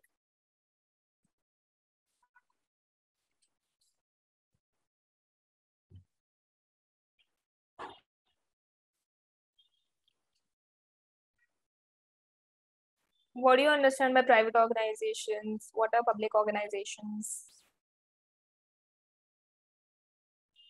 Yeshua says private company has less capital than public. Okay. Okay, I accept that. Public organization is government organization. Yes, so Aman uh, has uh, pointed out in the right direction. So public organizations now, they normally mean where the government has invested. Correct. So private organizations are owned by individuals. Public sector, they are uh, having their funding from the government. Okay. So ownership, so ownership in private sector will be with individuals, whereas in public sector, give me an example of a public sector company. Quickly think, think. Private sector, I'm sure you all can think. Reliance, ITC, so many companies. Public sector, yes. So Aman says Coal India, Om says ONGC. Yes. Uh, Rashita says BSNL. So these are all government companies. These are all public sector enterprises. IRCTC, very good. So these are public sector. Now I think you can bridge the gap that what is private sector and what is public sector. Okay. Next is control. Owners versus managers. Now think of the tea shop next to your home. In your locality, you might be having a tea shop, right? And think of Reliance. Who is controlling each of them? Who is controlling the tea shop? The owner himself is controlling it. The one who is making the tea, he is controlling his own shop. Yes. Whereas in case of Reliance, don't you think, do you think uh, Mr. Ambani is managing everything on his own? No, he has got managers who will be doing their tasks. So they are controlling. So there will be someone called purchase manager. There will be someone called production manager someone called accounts manager. So like that the control is distributed between a lot of people. So for the tea shop the owner is the controller. For a company like reliance managers are the controllers. Correct? Next is activity. So I, what are we discussing? First always have that in mind. What are we discussing? We are discussing how different there are different types of organizations. So please understand that tea shop is also an organization. He might be having two different two three different people who are actually uh, servicing the clients, the servicing the customers who are coming to the tea shop. So that is also an organization. It's not like big companies only are organizations. The tea shop is also an example of an organization. And now what are we studying? How different type of organizations there are. So activity. Now within activity, we have manufacturing and service organizations. Give me examples of both the types of organization. Yeshu has given that before even I asked. So Yeshu says Uber is a service company, Toyota is a manufacturing company. Very good. Others, give me more examples of manufacturing and service organizations. HUL is manufacturing, TCS is services. Um, very good. So now, now I understand you have some basic idea about manufacturing and service organizations. So service organizations, they are not, uh, you know, selling out, coming in the market and selling any product. Any physical product is not what they're selling. They're selling out the services. So services example, another, another is VLCC. So you go to a salon, you are getting their services. VLCC is also, also an organization, right?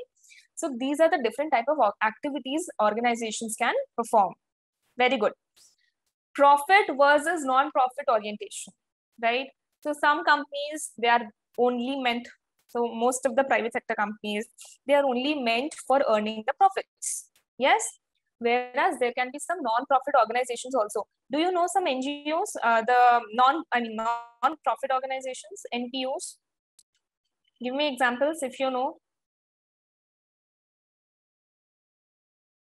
Very good. Yashu says Helpage India. Aman says being human. Okay, correct. Yes so there are a lot of organizations you know uh, care is there. Okay uh, you know it's for child helpline. A lot of uh, non um, profit organizations there are there who are who have their objectives only to ensure that the society is uplifted.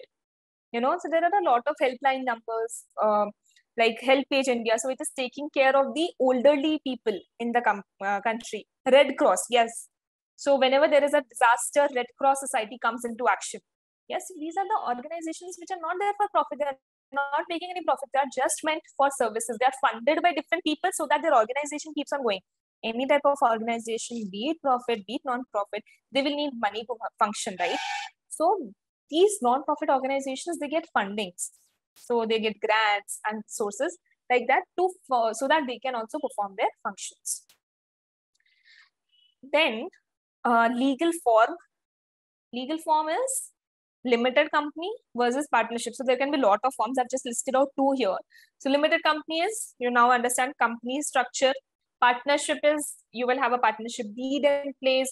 Two three different people um, are coming together to form a partnership and do the business. There can be huf right? There can be trusts. So the legal form can be multiple.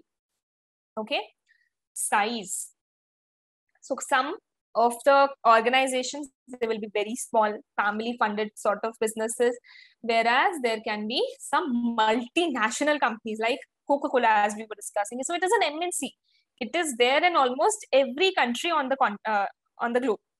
So it is a multinational corporation. Whereas the tea shop in your society, that is a very small family business. So only two, three people are managing that. So size of organizations can be different. Sources of finance. As I was discussing, different type of organizations have different sources of finance. For example, companies, how can, so how can they take money? They will have uh, shareholders who will give them share, uh, you know, money against the issue of shares. There will be banks who will lend them.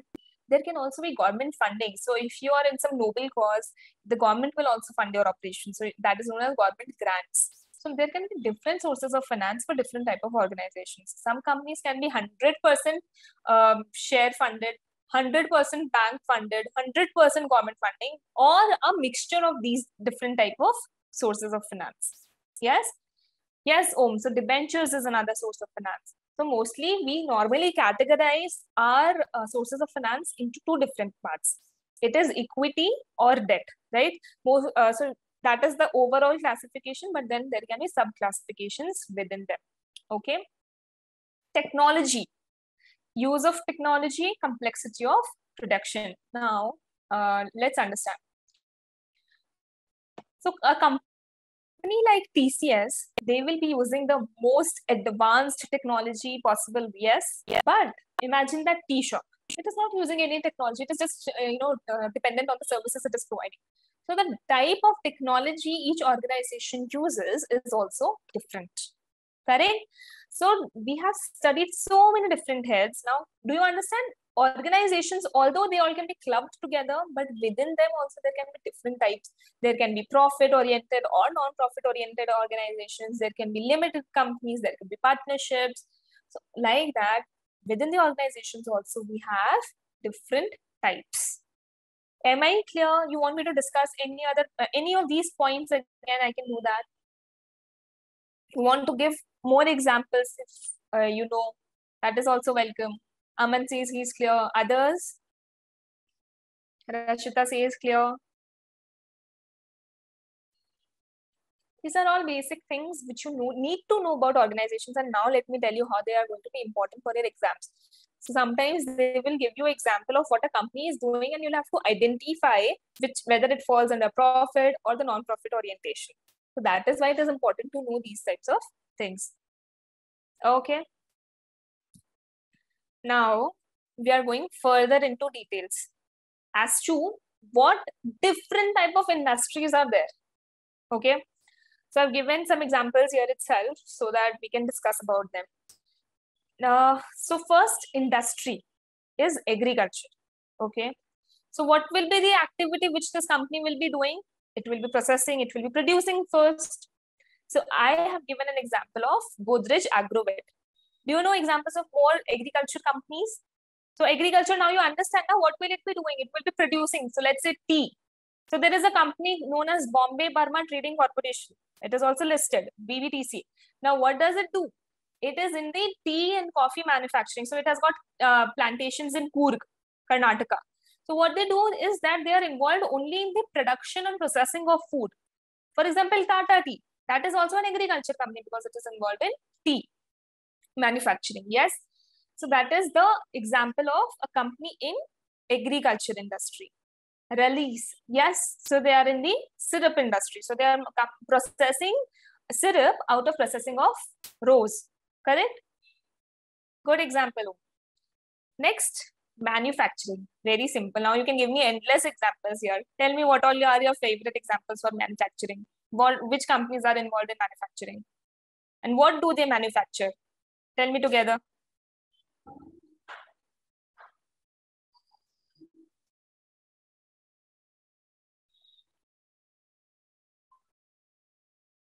Aman says Tata Consumers. Very good. Think more. Tata Steel, yes. Then you can say uh, Tesla, who is into manufacturing of cars. Yeshu says Hyundai automobiles, correct. Apple, Apple is so Apple is manufacturing phones.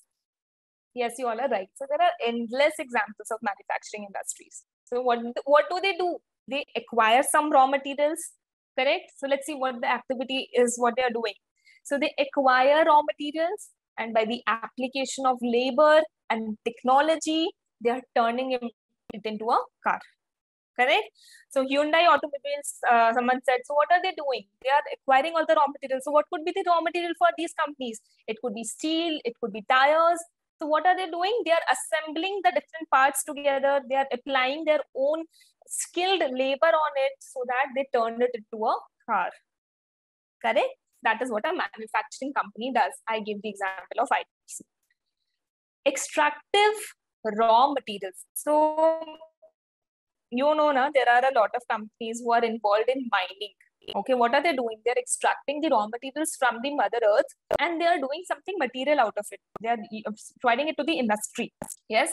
So one of the examples is vedanta. So vedanta is involved in the extractions of minerals and uh, alloys from the earth and then they are uh, processing it and selling out do you know more examples like uh, of uh, mining companies or who are into extracting I hope now you all can see when you're discussing it with example now your horizon mind horizon opens up. You think, yes, these are the companies which are there. This is what they do. Think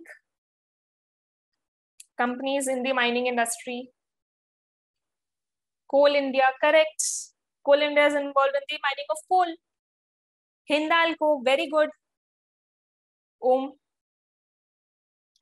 So these are the companies in the mining industry energy. So what does energy company do?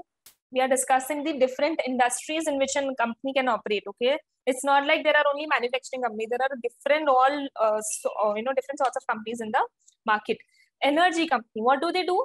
They convert one resource into another. For example, coal is converted into electricity. Adani Power. Adani Power, power is involved in the distribution of electricity. Yes, Give me more examples of energy companies. Suzlon. Okay. Um, or others. NHPC. Uh, is it the hydropower company, Tushar? Start, uh, Aman says startup Power. Yes. So these are all different companies who are involved in converting one source. So hydropower company, what does it do? It takes water NTPC is there, National Thermal Power Corporation. Yes. So what does it do? It takes coal, it converts it into electricity. It takes hydropower, it converts into electricity. So that is what these different type of companies do. They're energy-based companies. Okay. Distribution companies delivering goods to the end customer. So the first example is today in the today's world is Ekart. It Ekart is, has been delivering the products to your doorstep. Delivery based companies. Yes. Give me more examples. A lot of more examples are there. Om says Ecom Express. Yes. Amazon has their own delivery partner. Krishnam says yes. So these companies are involved. See, Amazon is an e-commerce company. They have their delivery partners. Delhivery is a company. Correct. Blue Dart. Yes, I was looking for Blue Dart now. No one called Blue Dart. Om says Blue Dart. So Blue Dart is that one company who is delivering your parcels from one place to another. So these are all the distribution type of companies. Trackon is there, yes. Next is intellectual production. So what do these intellectual companies do? They are producing softwares, they are producing films, they are producing music. So these are also different types of organizations, right? Yes, so I've given the example of Infosys. You can give endless examples. You know, I, I'm assuming TCS is going to come. I'm assuming Wipro is going to come. Tech Mahindra. Yes. Others. So there are a lot of IT companies which they are which are involved in producing the intellectual property. So what you need to understand here, what are we discussing is what see there are endless list of industries. Even the list which I've given here is not exhaustive. There can be different industries also. So we are just discussing what all different types of industries are there.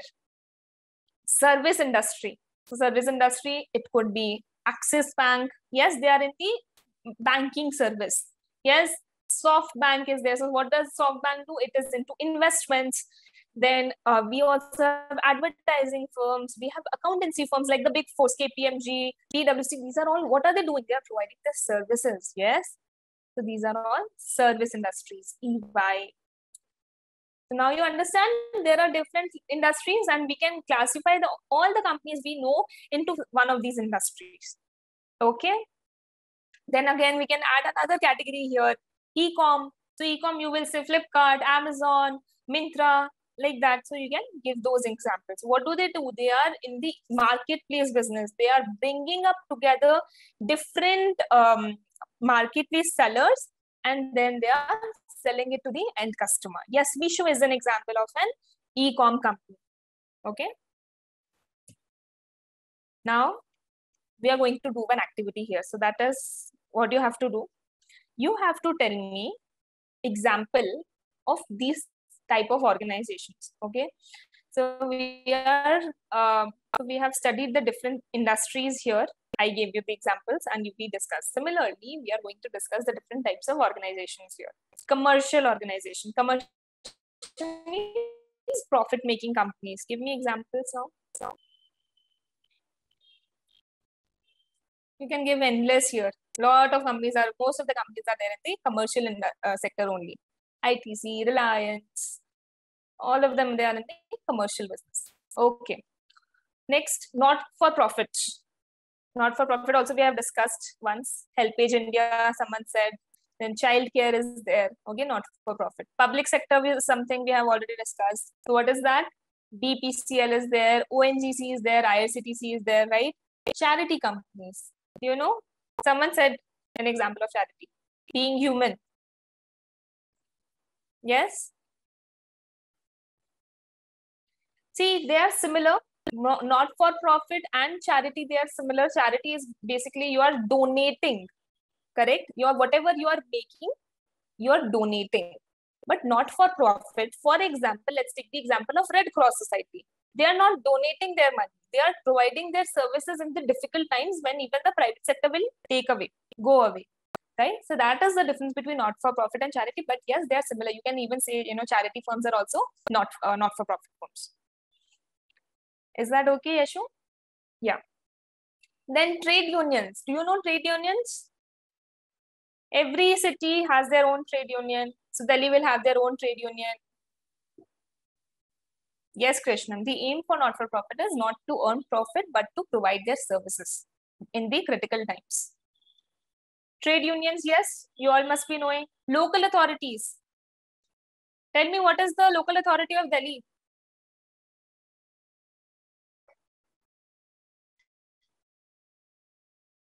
we have one Delhi guy, na? Tell us what's the name of the Delhi local authority? Who is managing the uh, cleanliness of your city?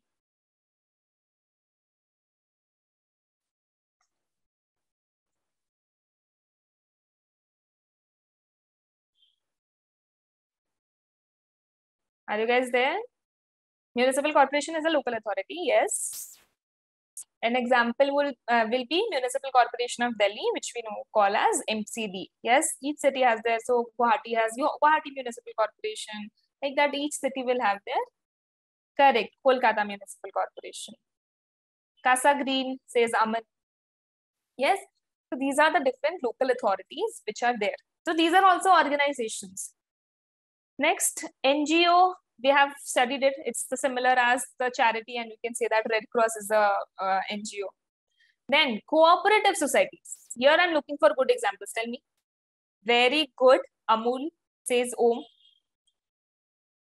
Amul is a cooperative society. Do you know these uh, uh, Amul, uh, who, which was started by Verghese Kurien? What he did, he brought together the different farmers of Anand village. Uh, so Amul is in Anand. It's a place in Gujarat. So he brought together the farmers of that village and started off such a big organization, and that is Amul, right? So likewise, we also have Nandini Milk. Yashu says Amul was the only example I knew.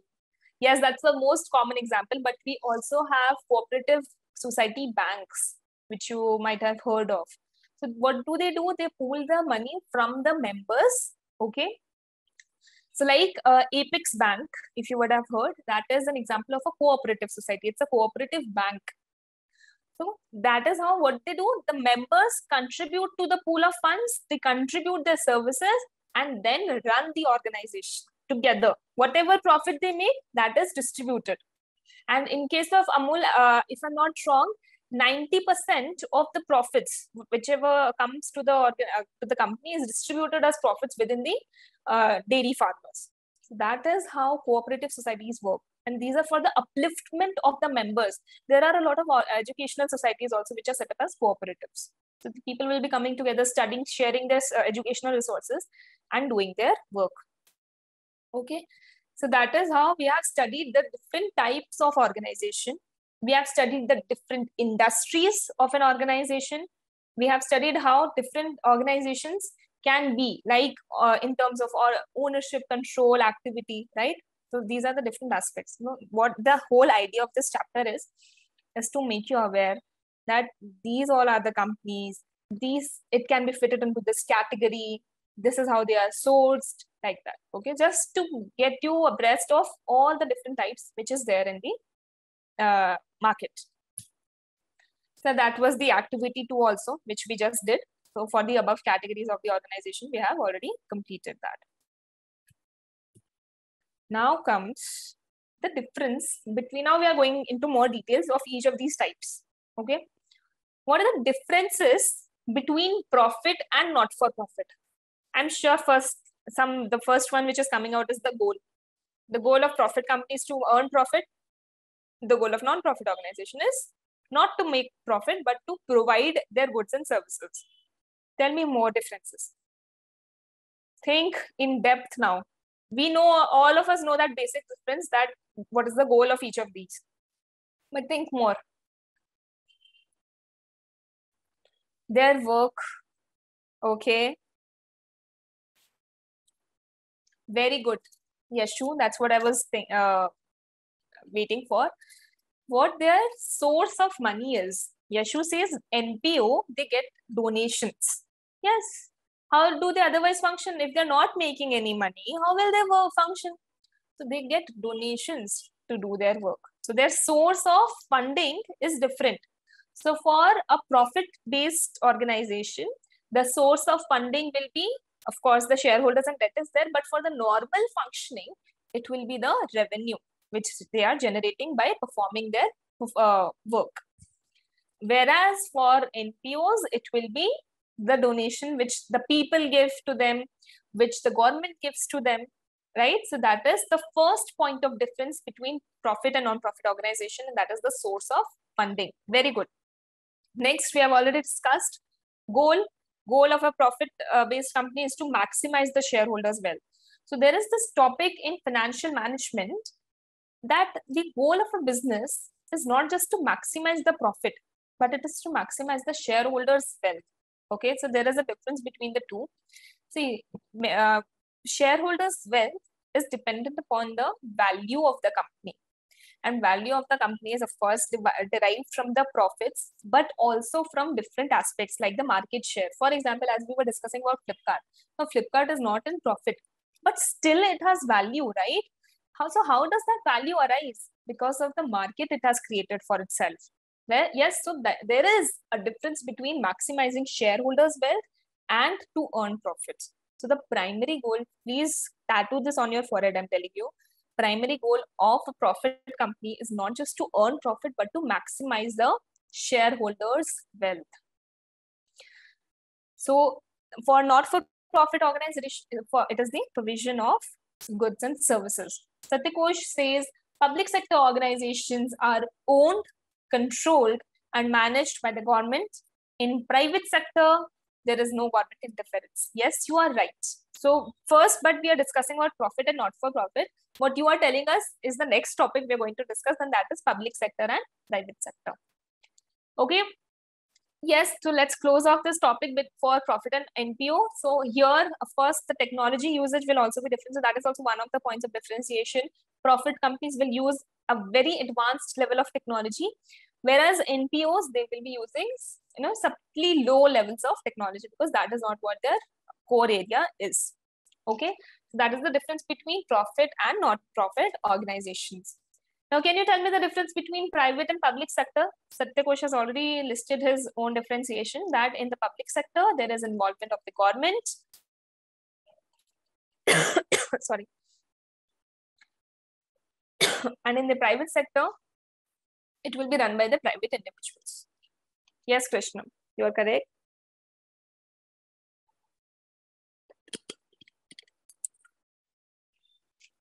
I hope we have already covered this topic, public sector and private sector, so we can move on with this now.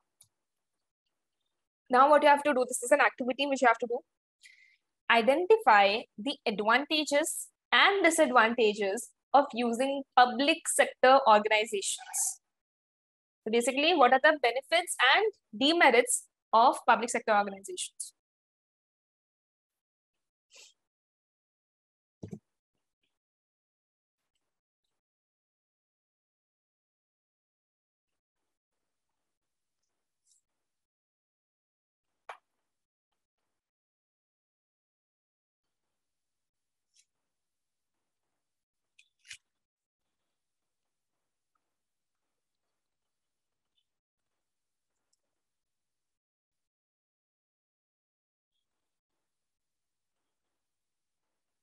Krishnam says the advantages listed on stock exchange, okay, and economies of scale.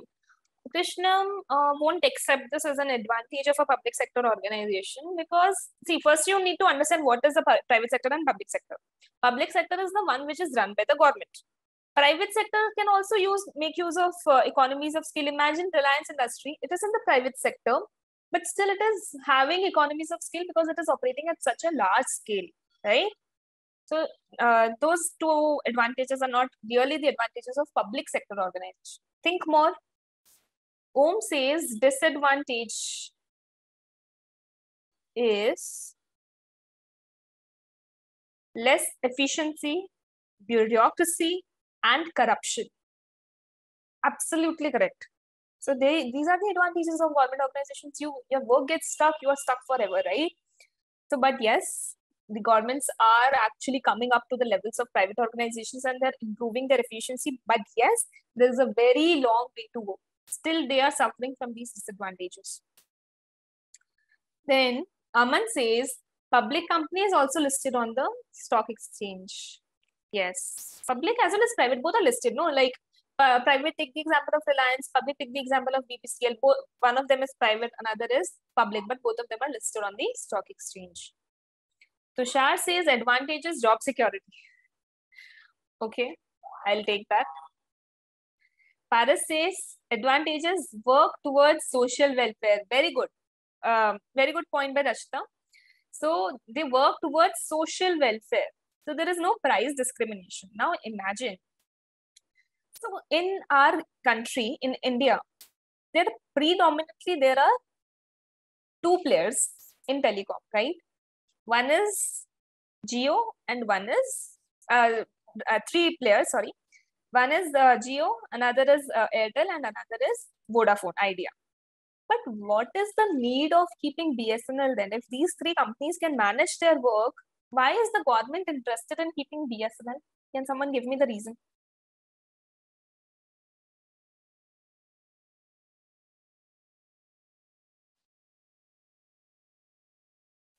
Why didn't the government choose to keep if it is uh, you know must be knowing bsnl is such a big organization. Aman says bsnl plans are very low cost. Okay. Others why do you think uh, government decided to keep uh, bsnl although the private players are managing their work so perfectly well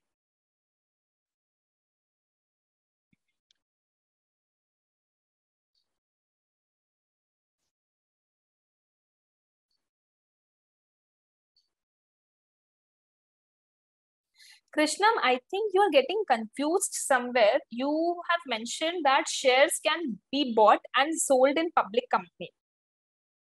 What you're talking about is private and public company. What we are discussing is private sector and public sector. These are both different concepts. So public sector, na, it talks about the government organizations. What you're talking about is the publicly listed companies so that is where I think you're getting confused, but don't be. Private and public companies are different. Private sector and public sector companies are different. Are you clear, Krishna?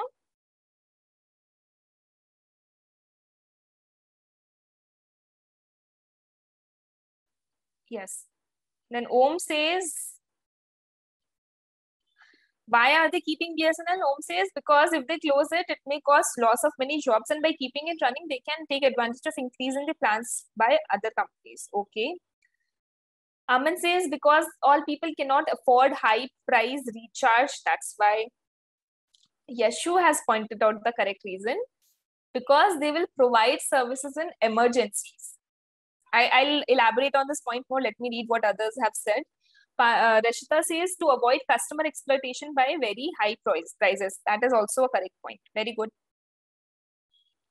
And Yashu says coverage is also more. Now, I will uh, tell you the reason why the government chose to keep uh, BSNL. Firstly, in case of national emergencies, the communication is of extreme importance be it a, a, warning of any natural disaster or be it of any wars or uh, you know so you can now understand uh, relate with uh, this uh, russia and ukraine war right? So in these situations communication becomes extremely critical okay? Now you must also be knowing that in all the government departments be it the defense ministry be it um, the home affairs department all of them they con- they continue to use bsnl why? Because they cannot rely on private companies. What if i'm just speculating here talking very hypothetical what if reliance uh, Jio it is um, hacked or it is uh, intentionally sharing out these uh, important bits of information which is of so critical nature and it is leaking out to another uh, to the uh, enemy country. For example, I'm just talking. So therefore, for these critical lines of operations now where you cannot rely on private players, government will not take away the public player.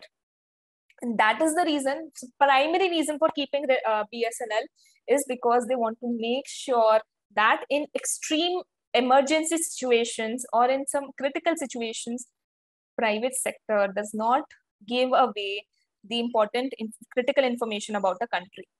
Okay? And of course the operational reasons are also there so that the private players do not exploit the customers by increasing their prices incessantly right? So these are the different uh, reasons why bsnl was kept.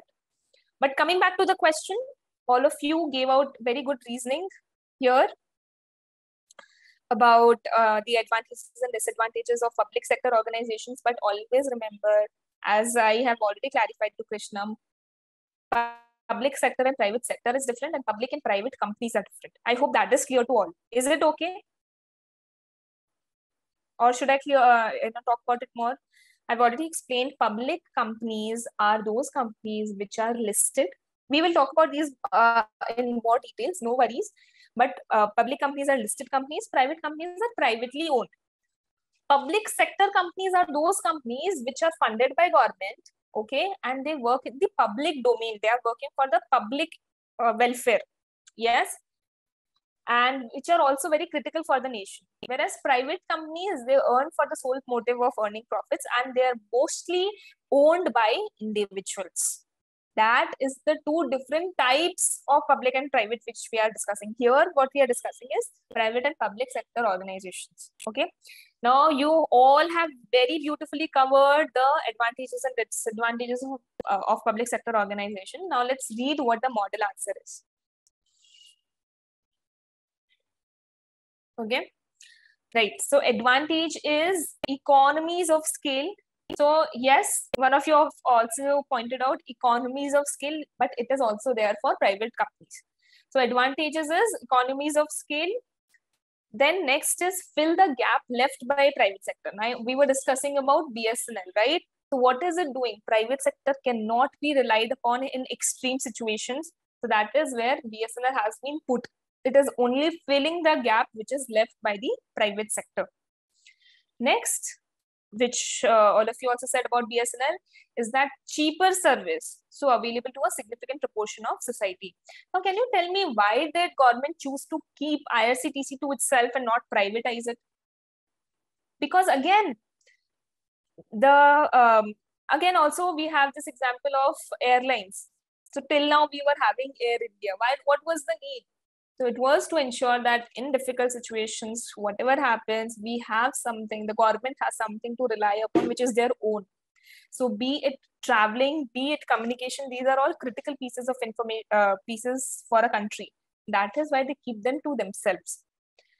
And next, cheaper services, yes. So IRCTC, for you all know, uh, traveling uh, train fares, they're very low, so that it is affordable and feasible for the larger part of the society and not just for the richer folks. Are we clear with the advantages? Have you all understood this? Okay, great. And what are the disadvantages? You, some of you pointed out perfectly well.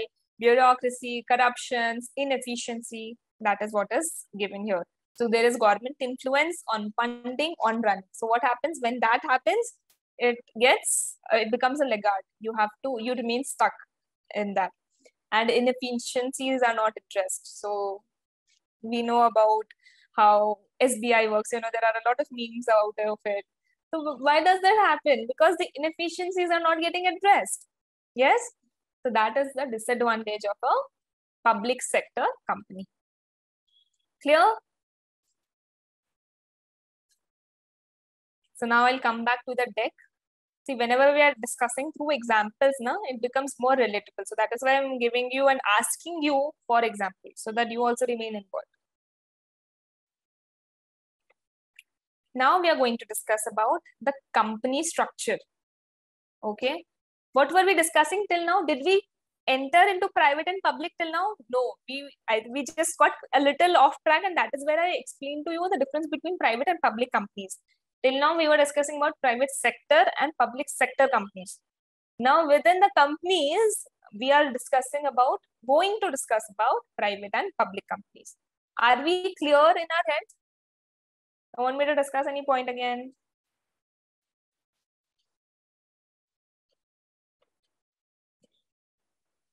Okay, great.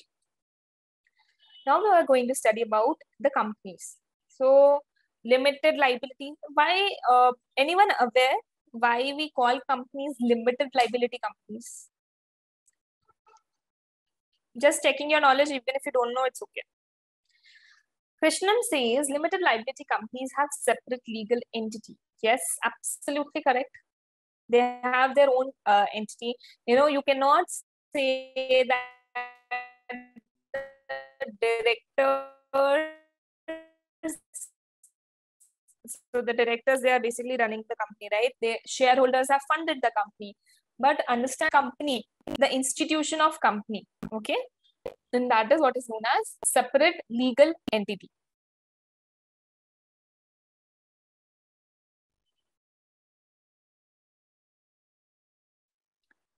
Now tell me why do we call them limited liability? Krishna says ownership and control are separated. Yes, yes.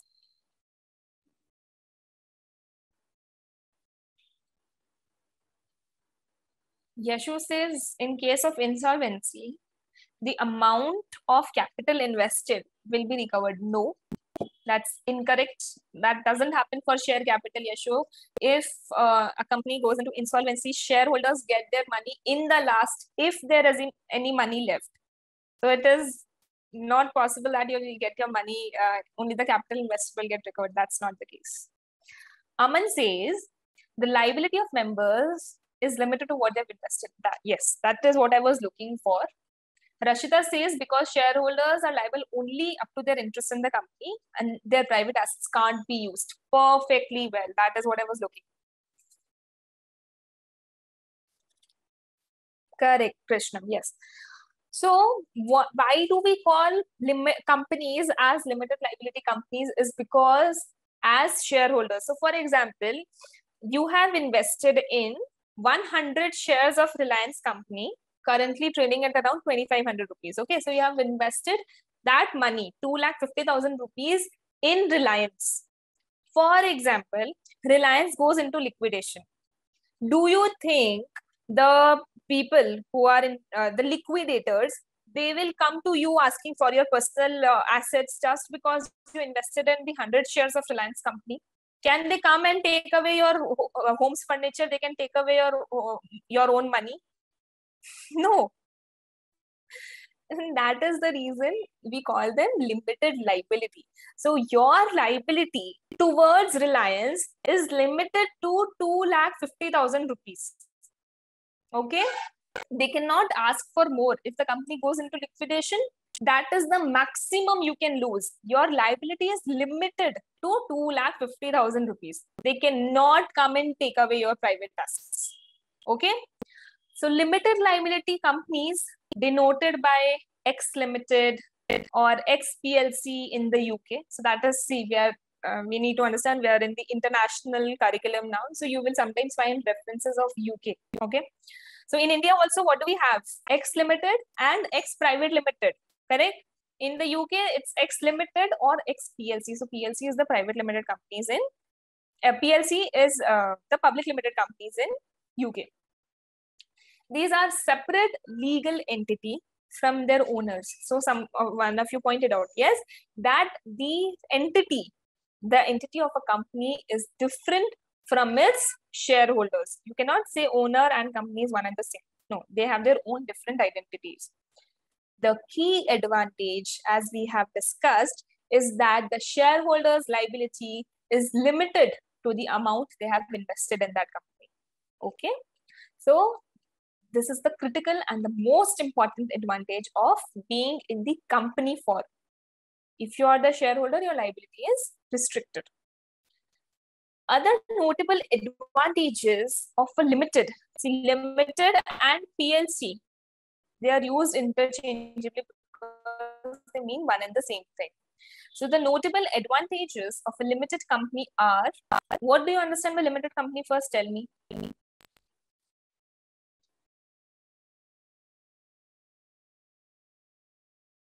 See, limited company means private company, private limited companies, they are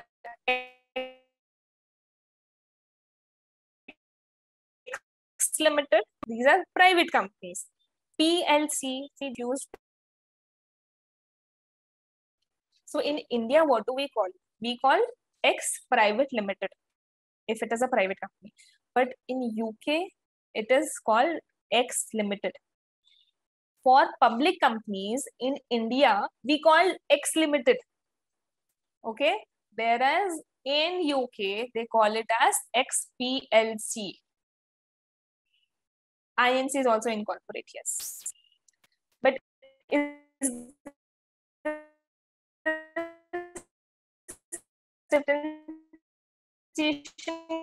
here so private will be limited, public will be, be it a limited, yani ki, uh, public. What are the advantages of a company form of institution?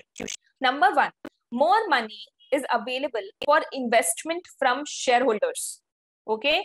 So if you have uh, formed a company, there is no limit to the amount of money you can raise, right? Because if you are a growing company, there will be people willing to put their money in your company. Yes. So there is no limit. So more money is available for investment from shareholders. Yes. Uh, so now think of a what you should think of when you are reading these advantages is compare it with a proprietorship concern.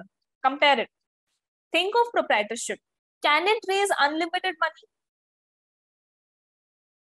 It cannot raise unlimited money. It will have to take loans if it wants money because your own capital will be restricted Am I right? Can you follow this?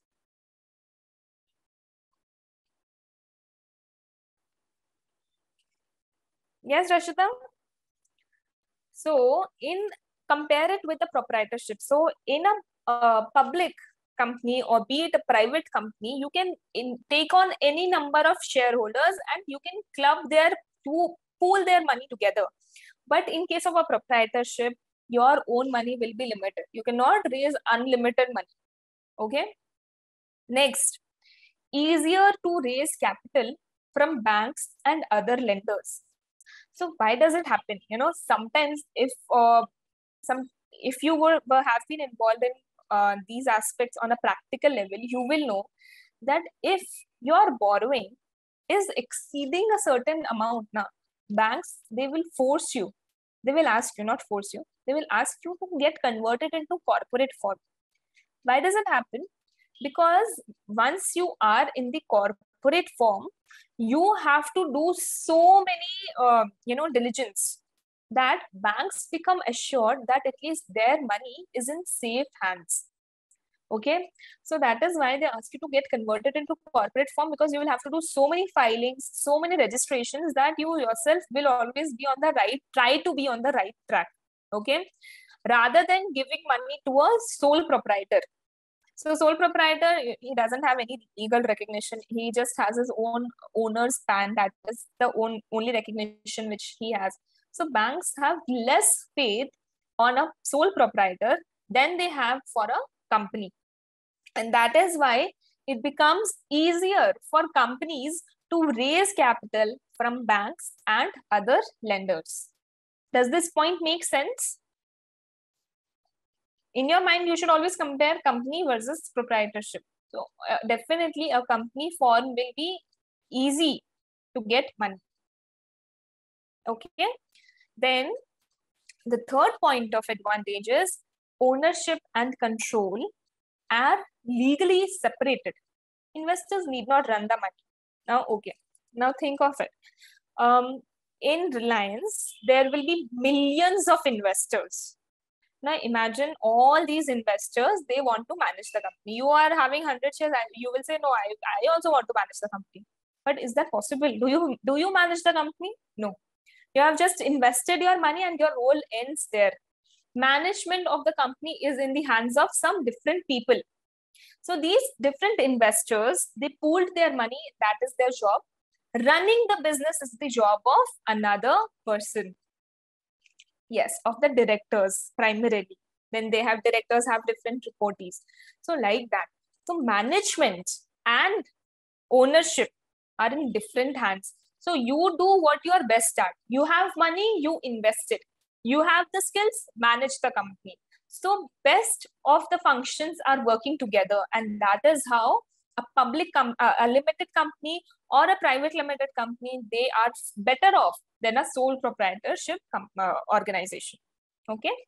So investors need not return the money. They have invested their money. They are they have to understand that the company is in the safe hands of the managers and it will give them better wealth in the future. But if we remove the rosy lenses and look at the disadvantages, we will find out there are some disadvantages too. First, greater administrative burden and cost, especially for legal entities. Now that you have entered the professional qualification of ACCA, you will realize that, and even you will learn these things that so many filings have to be done for listed entities. For example, if you're listed on the National Stock Exchange now, you have to file quarterly annual audit, uh, quarterly audited financial statements with the stock exchange. And you have to file so many forms. Even if you are changing your directors, you have to file a form. If your director is retiring, you have to file a form. Director's address is changing, you have to file a form. So many administrative compliances are there. If you are especially if you're listed then there is more.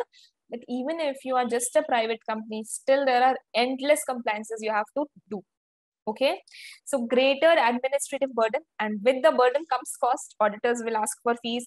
Professionals will ask for fees. So that is where there is a disadvantage if you are in the corporate form of business clear and second disadvantage is lack of privacy as anyone can download the financial statements and other public data.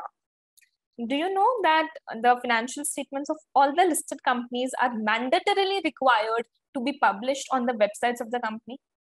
Do you know about this? If I want to see the audited financial statements of Reliance, I can simply go to their website and download the financial statements. Yes. Have you ever looked at the financial statements? Have you ever looked at the annual report of a company? Yashu says no. Aman says yes. So many yes and no's. Okay, so this is your homework for the day. After the class is done, just any random company, any company you like, any listed company I'm talking about, okay?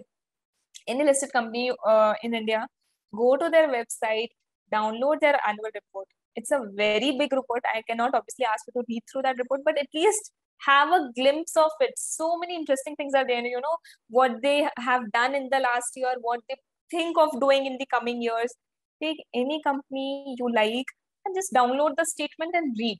You will see their assets run into crores of rupees. So their revenue, their um, capital. So that is how you will become, uh, you know, aware about the company. So take it as a homework. Do download any report and read it. Okay. Anything, any part you like, just skim through it. Have a glimpse of what all is there. It's very attractive. Also, they put in a lot of efforts in preparing the annual return, uh, annual report. So do take some time and read those statements. Okay. So yes, what I was saying is these financial statements, these are publicly uh, published. Okay. So eh, you and me, anyone who wants to know about the company can download this information and know about the company. Okay. So for example, um, ITC and Dabur, they're competitors in the FMCG business.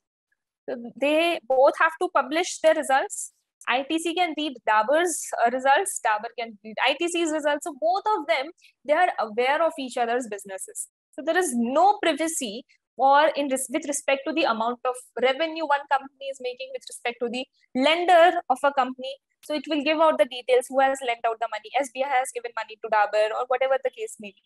All the details they become available in the public domain. So that is the disadvantage of a company. But do you think sole proprietors, do you think the tea shop owner publishes his results to anyone? No, he doesn't have to. Whatever he earns, he keeps it. He doesn't have to, doesn't have to disclose that information to anyone. But private companies, yes, they have to. Clear? So that is the disadvantage of a company. Okay. That was these advantages and disadvantages were mostly applicable for both private companies and public companies. Now we are going to learn about the two different types of limited companies. So both private as well as com public companies, both of them are limited companies. Okay. Even in private companies, your capital, your liability is restricted to the amount you have invested as shares. Even if the private company is going into liquidation, they will not come and take away your um, private assets. Okay. Same goes for public. So both of them are limited liability companies. But yes, because of the different type of ownership, they have some differentiations. So let's understand what is the difference between private limited and in UK, private is known as limited companies. Public limited companies are known as PLC companies. Clear? So private companies are usually owned by a small number of people, family members, and their shares are not easily transferable usually. some of you might even be having some private companies of your own family, right? So you must be knowing you cannot share, uh, sell your shares so easily. Uh, whatever has been invested remains invested for the long term. You cannot uh, trade the shares very easily, right? In private companies. Whereas in public companies, See, whenever we are investing in the Bombay Stock Exchange or in the National Stock Exchange, what are we doing? We are basically trading the shares, right? Someone is selling it, another one is buying it. So this is known as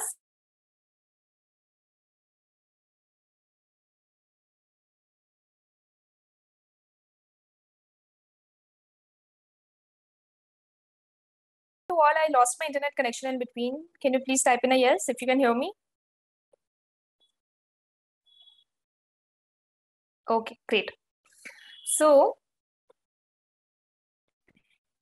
thank you. Yeah. So what we were discussing is the two types of companies which are there, and that is uh, private companies and the public companies.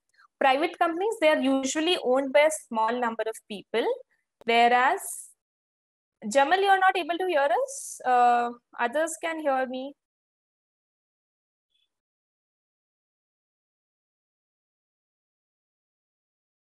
am I audible to all? Jamal, uh, can you please uh, check again?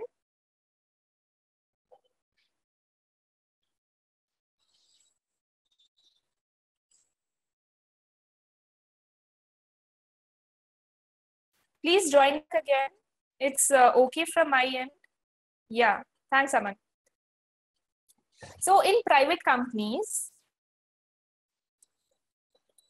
in the private companies, it is owned a small number of people, right? So the family members and the shares cannot be transferred easily as compared to a public company where the shares are easily transferable. So when we are purchasing the shares from the share market, what are we doing? We are basically trading in the shares, right? So that is what happens in if you are incorporated as a public limited company. Second point is shares of public companies will usually be traded on a stock exchange, something we have discussed. And um, the directors of a public company are less likely to hold a significant shareholding in the company. So you might be aware, uh, if you have dealt with these things at a practical level, that in case of private companies now, directors are mostly the shareholders also. They derive their remuneration from their own profits. That is how it normally functions. Whereas in public companies, it doesn't happen so public companies, the directors, they normally do not have so much of shareholding. They are, uh, they do have some shareholding, but not have it of private limited companies. Okay, so that is the difference between private limited companies and public limited companies. Are we clear? Clear? And also, most important is the advantage and disadvantage of limit uh, of limited liability companies. Okay, great. Great. If you still want to see, some things might not get covered in the slides, but just because of your normal business understanding, you might have some queries in your head now. Always feel free to post them. See, I have work experience in private corporate, so I can always share my, uh, you know, direct experience in those companies. Even uh, the awareness of the market as a whole, I have uh, those details with me. So if you ever have any queries regarding the topics we are covering, you can always post it and we can discuss that. Okay. Next slide is an activity. Now, please get up. We'll be doing something together. Florence Nightingale runs a successful and growing small business as a sole trader. So she's a sole proprietor. She wishes to expand the business and has acquired Scutari Limited. She has she has acquired. So she was in sole proprietorship before. Now she's acquired Scutari Limited, a small private limited company in the same line. So she was doing some business and she has acquired another company in the same line. After the acquisition, she runs the two businesses as if they were in one operation, making no distinction between them. What she has done, she was running some business she acquired a private company. She has started running both of them without making any distinction between the two. So if she is she was purchasing for her own business earlier as a sole proprietor, she's also considering it as a purchase for, for the company. Is it a correct thing to do? The requirement is what is the legal form of the business she is running? Is she doing the right thing? No.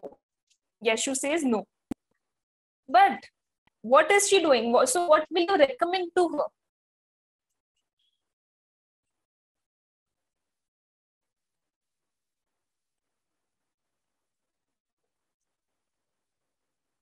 What will you tell her? If she is not doing the correct thing what will you suggest as a professional to her?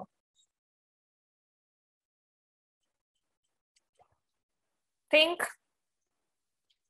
yeah, either you will tell her to keep the proprietorship business or you will uh, tell her to keep the company. So what will you tell her? Yeshu says treat the other companies pretty good. Paras says convert into a single private company. Very good. Aman says she uh, he should have to tell that which is public or which is private company. No, this question is not about public or private company. Aman, this question is about sole proprietorship and private company. Read the question again.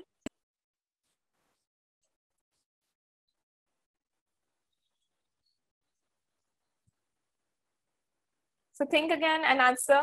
Everyone should participate. You have to now step into the shoes of a professional who is going to guide her. So tell her what you would want her to do. Om says convert into a single private limited company. Okay. Others, what do you think? Krishnam, Zakia,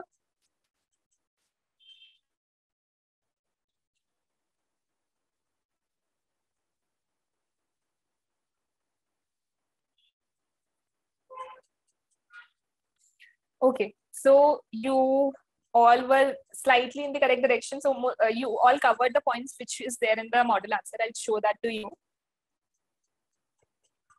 Very good attempt. So that is what will happen. So once you are in the professional uh, qualification career, now you have to start thinking what you would do if you were a professional. So that is how you ultimately become a professional, right? So let's see what the model answer is. This is quite a key question.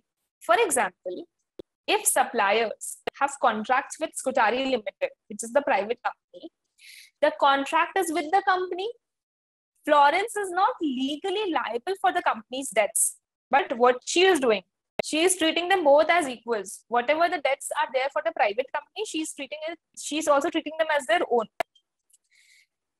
Similarly, if their contracts are with Florence, they are dealing with her personally. They are not dealing with the company right? So she has made no distinction, but legally that is not allowed. So what she has to do, uh, which I asked you, that she has to make a choice. So some of you told she can run the entire business as a sole trader in which Scutari Limited's assets must be transferred to her. Okay, so the company will sell their assets and also transfer its liabilities to her personal account, which she is running as a sole trader. Okay, that is option one. So what is option one?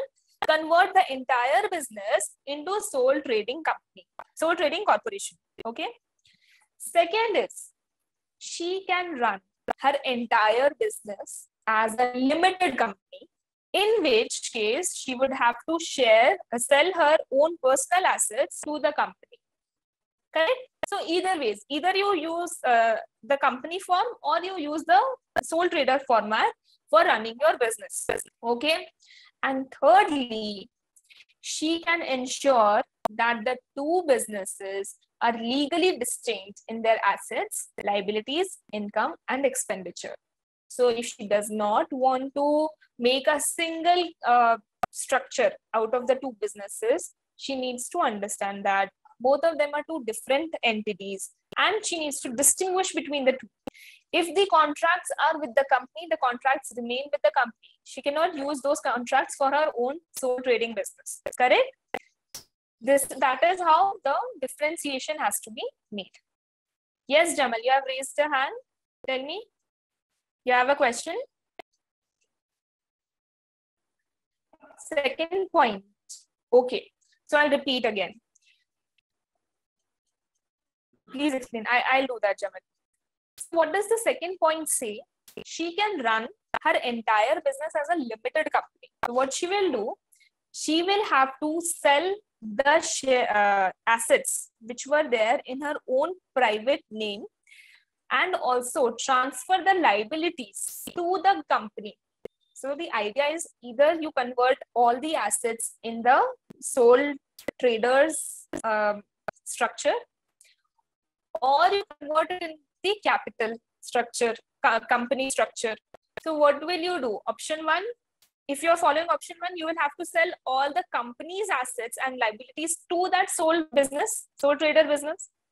In the second option, if you are converting everything into the corporate form, you will have to sell the assets and liabilities of that private form, the sole trader form, into the company's format. Is that making sense, Jamal? Clear? That is what the second point is saying. And third is you want to keep both, keep both, but treat them distinctly, keep them legally different. Am I clear now, Jamal? Second point. Krishnam says clear.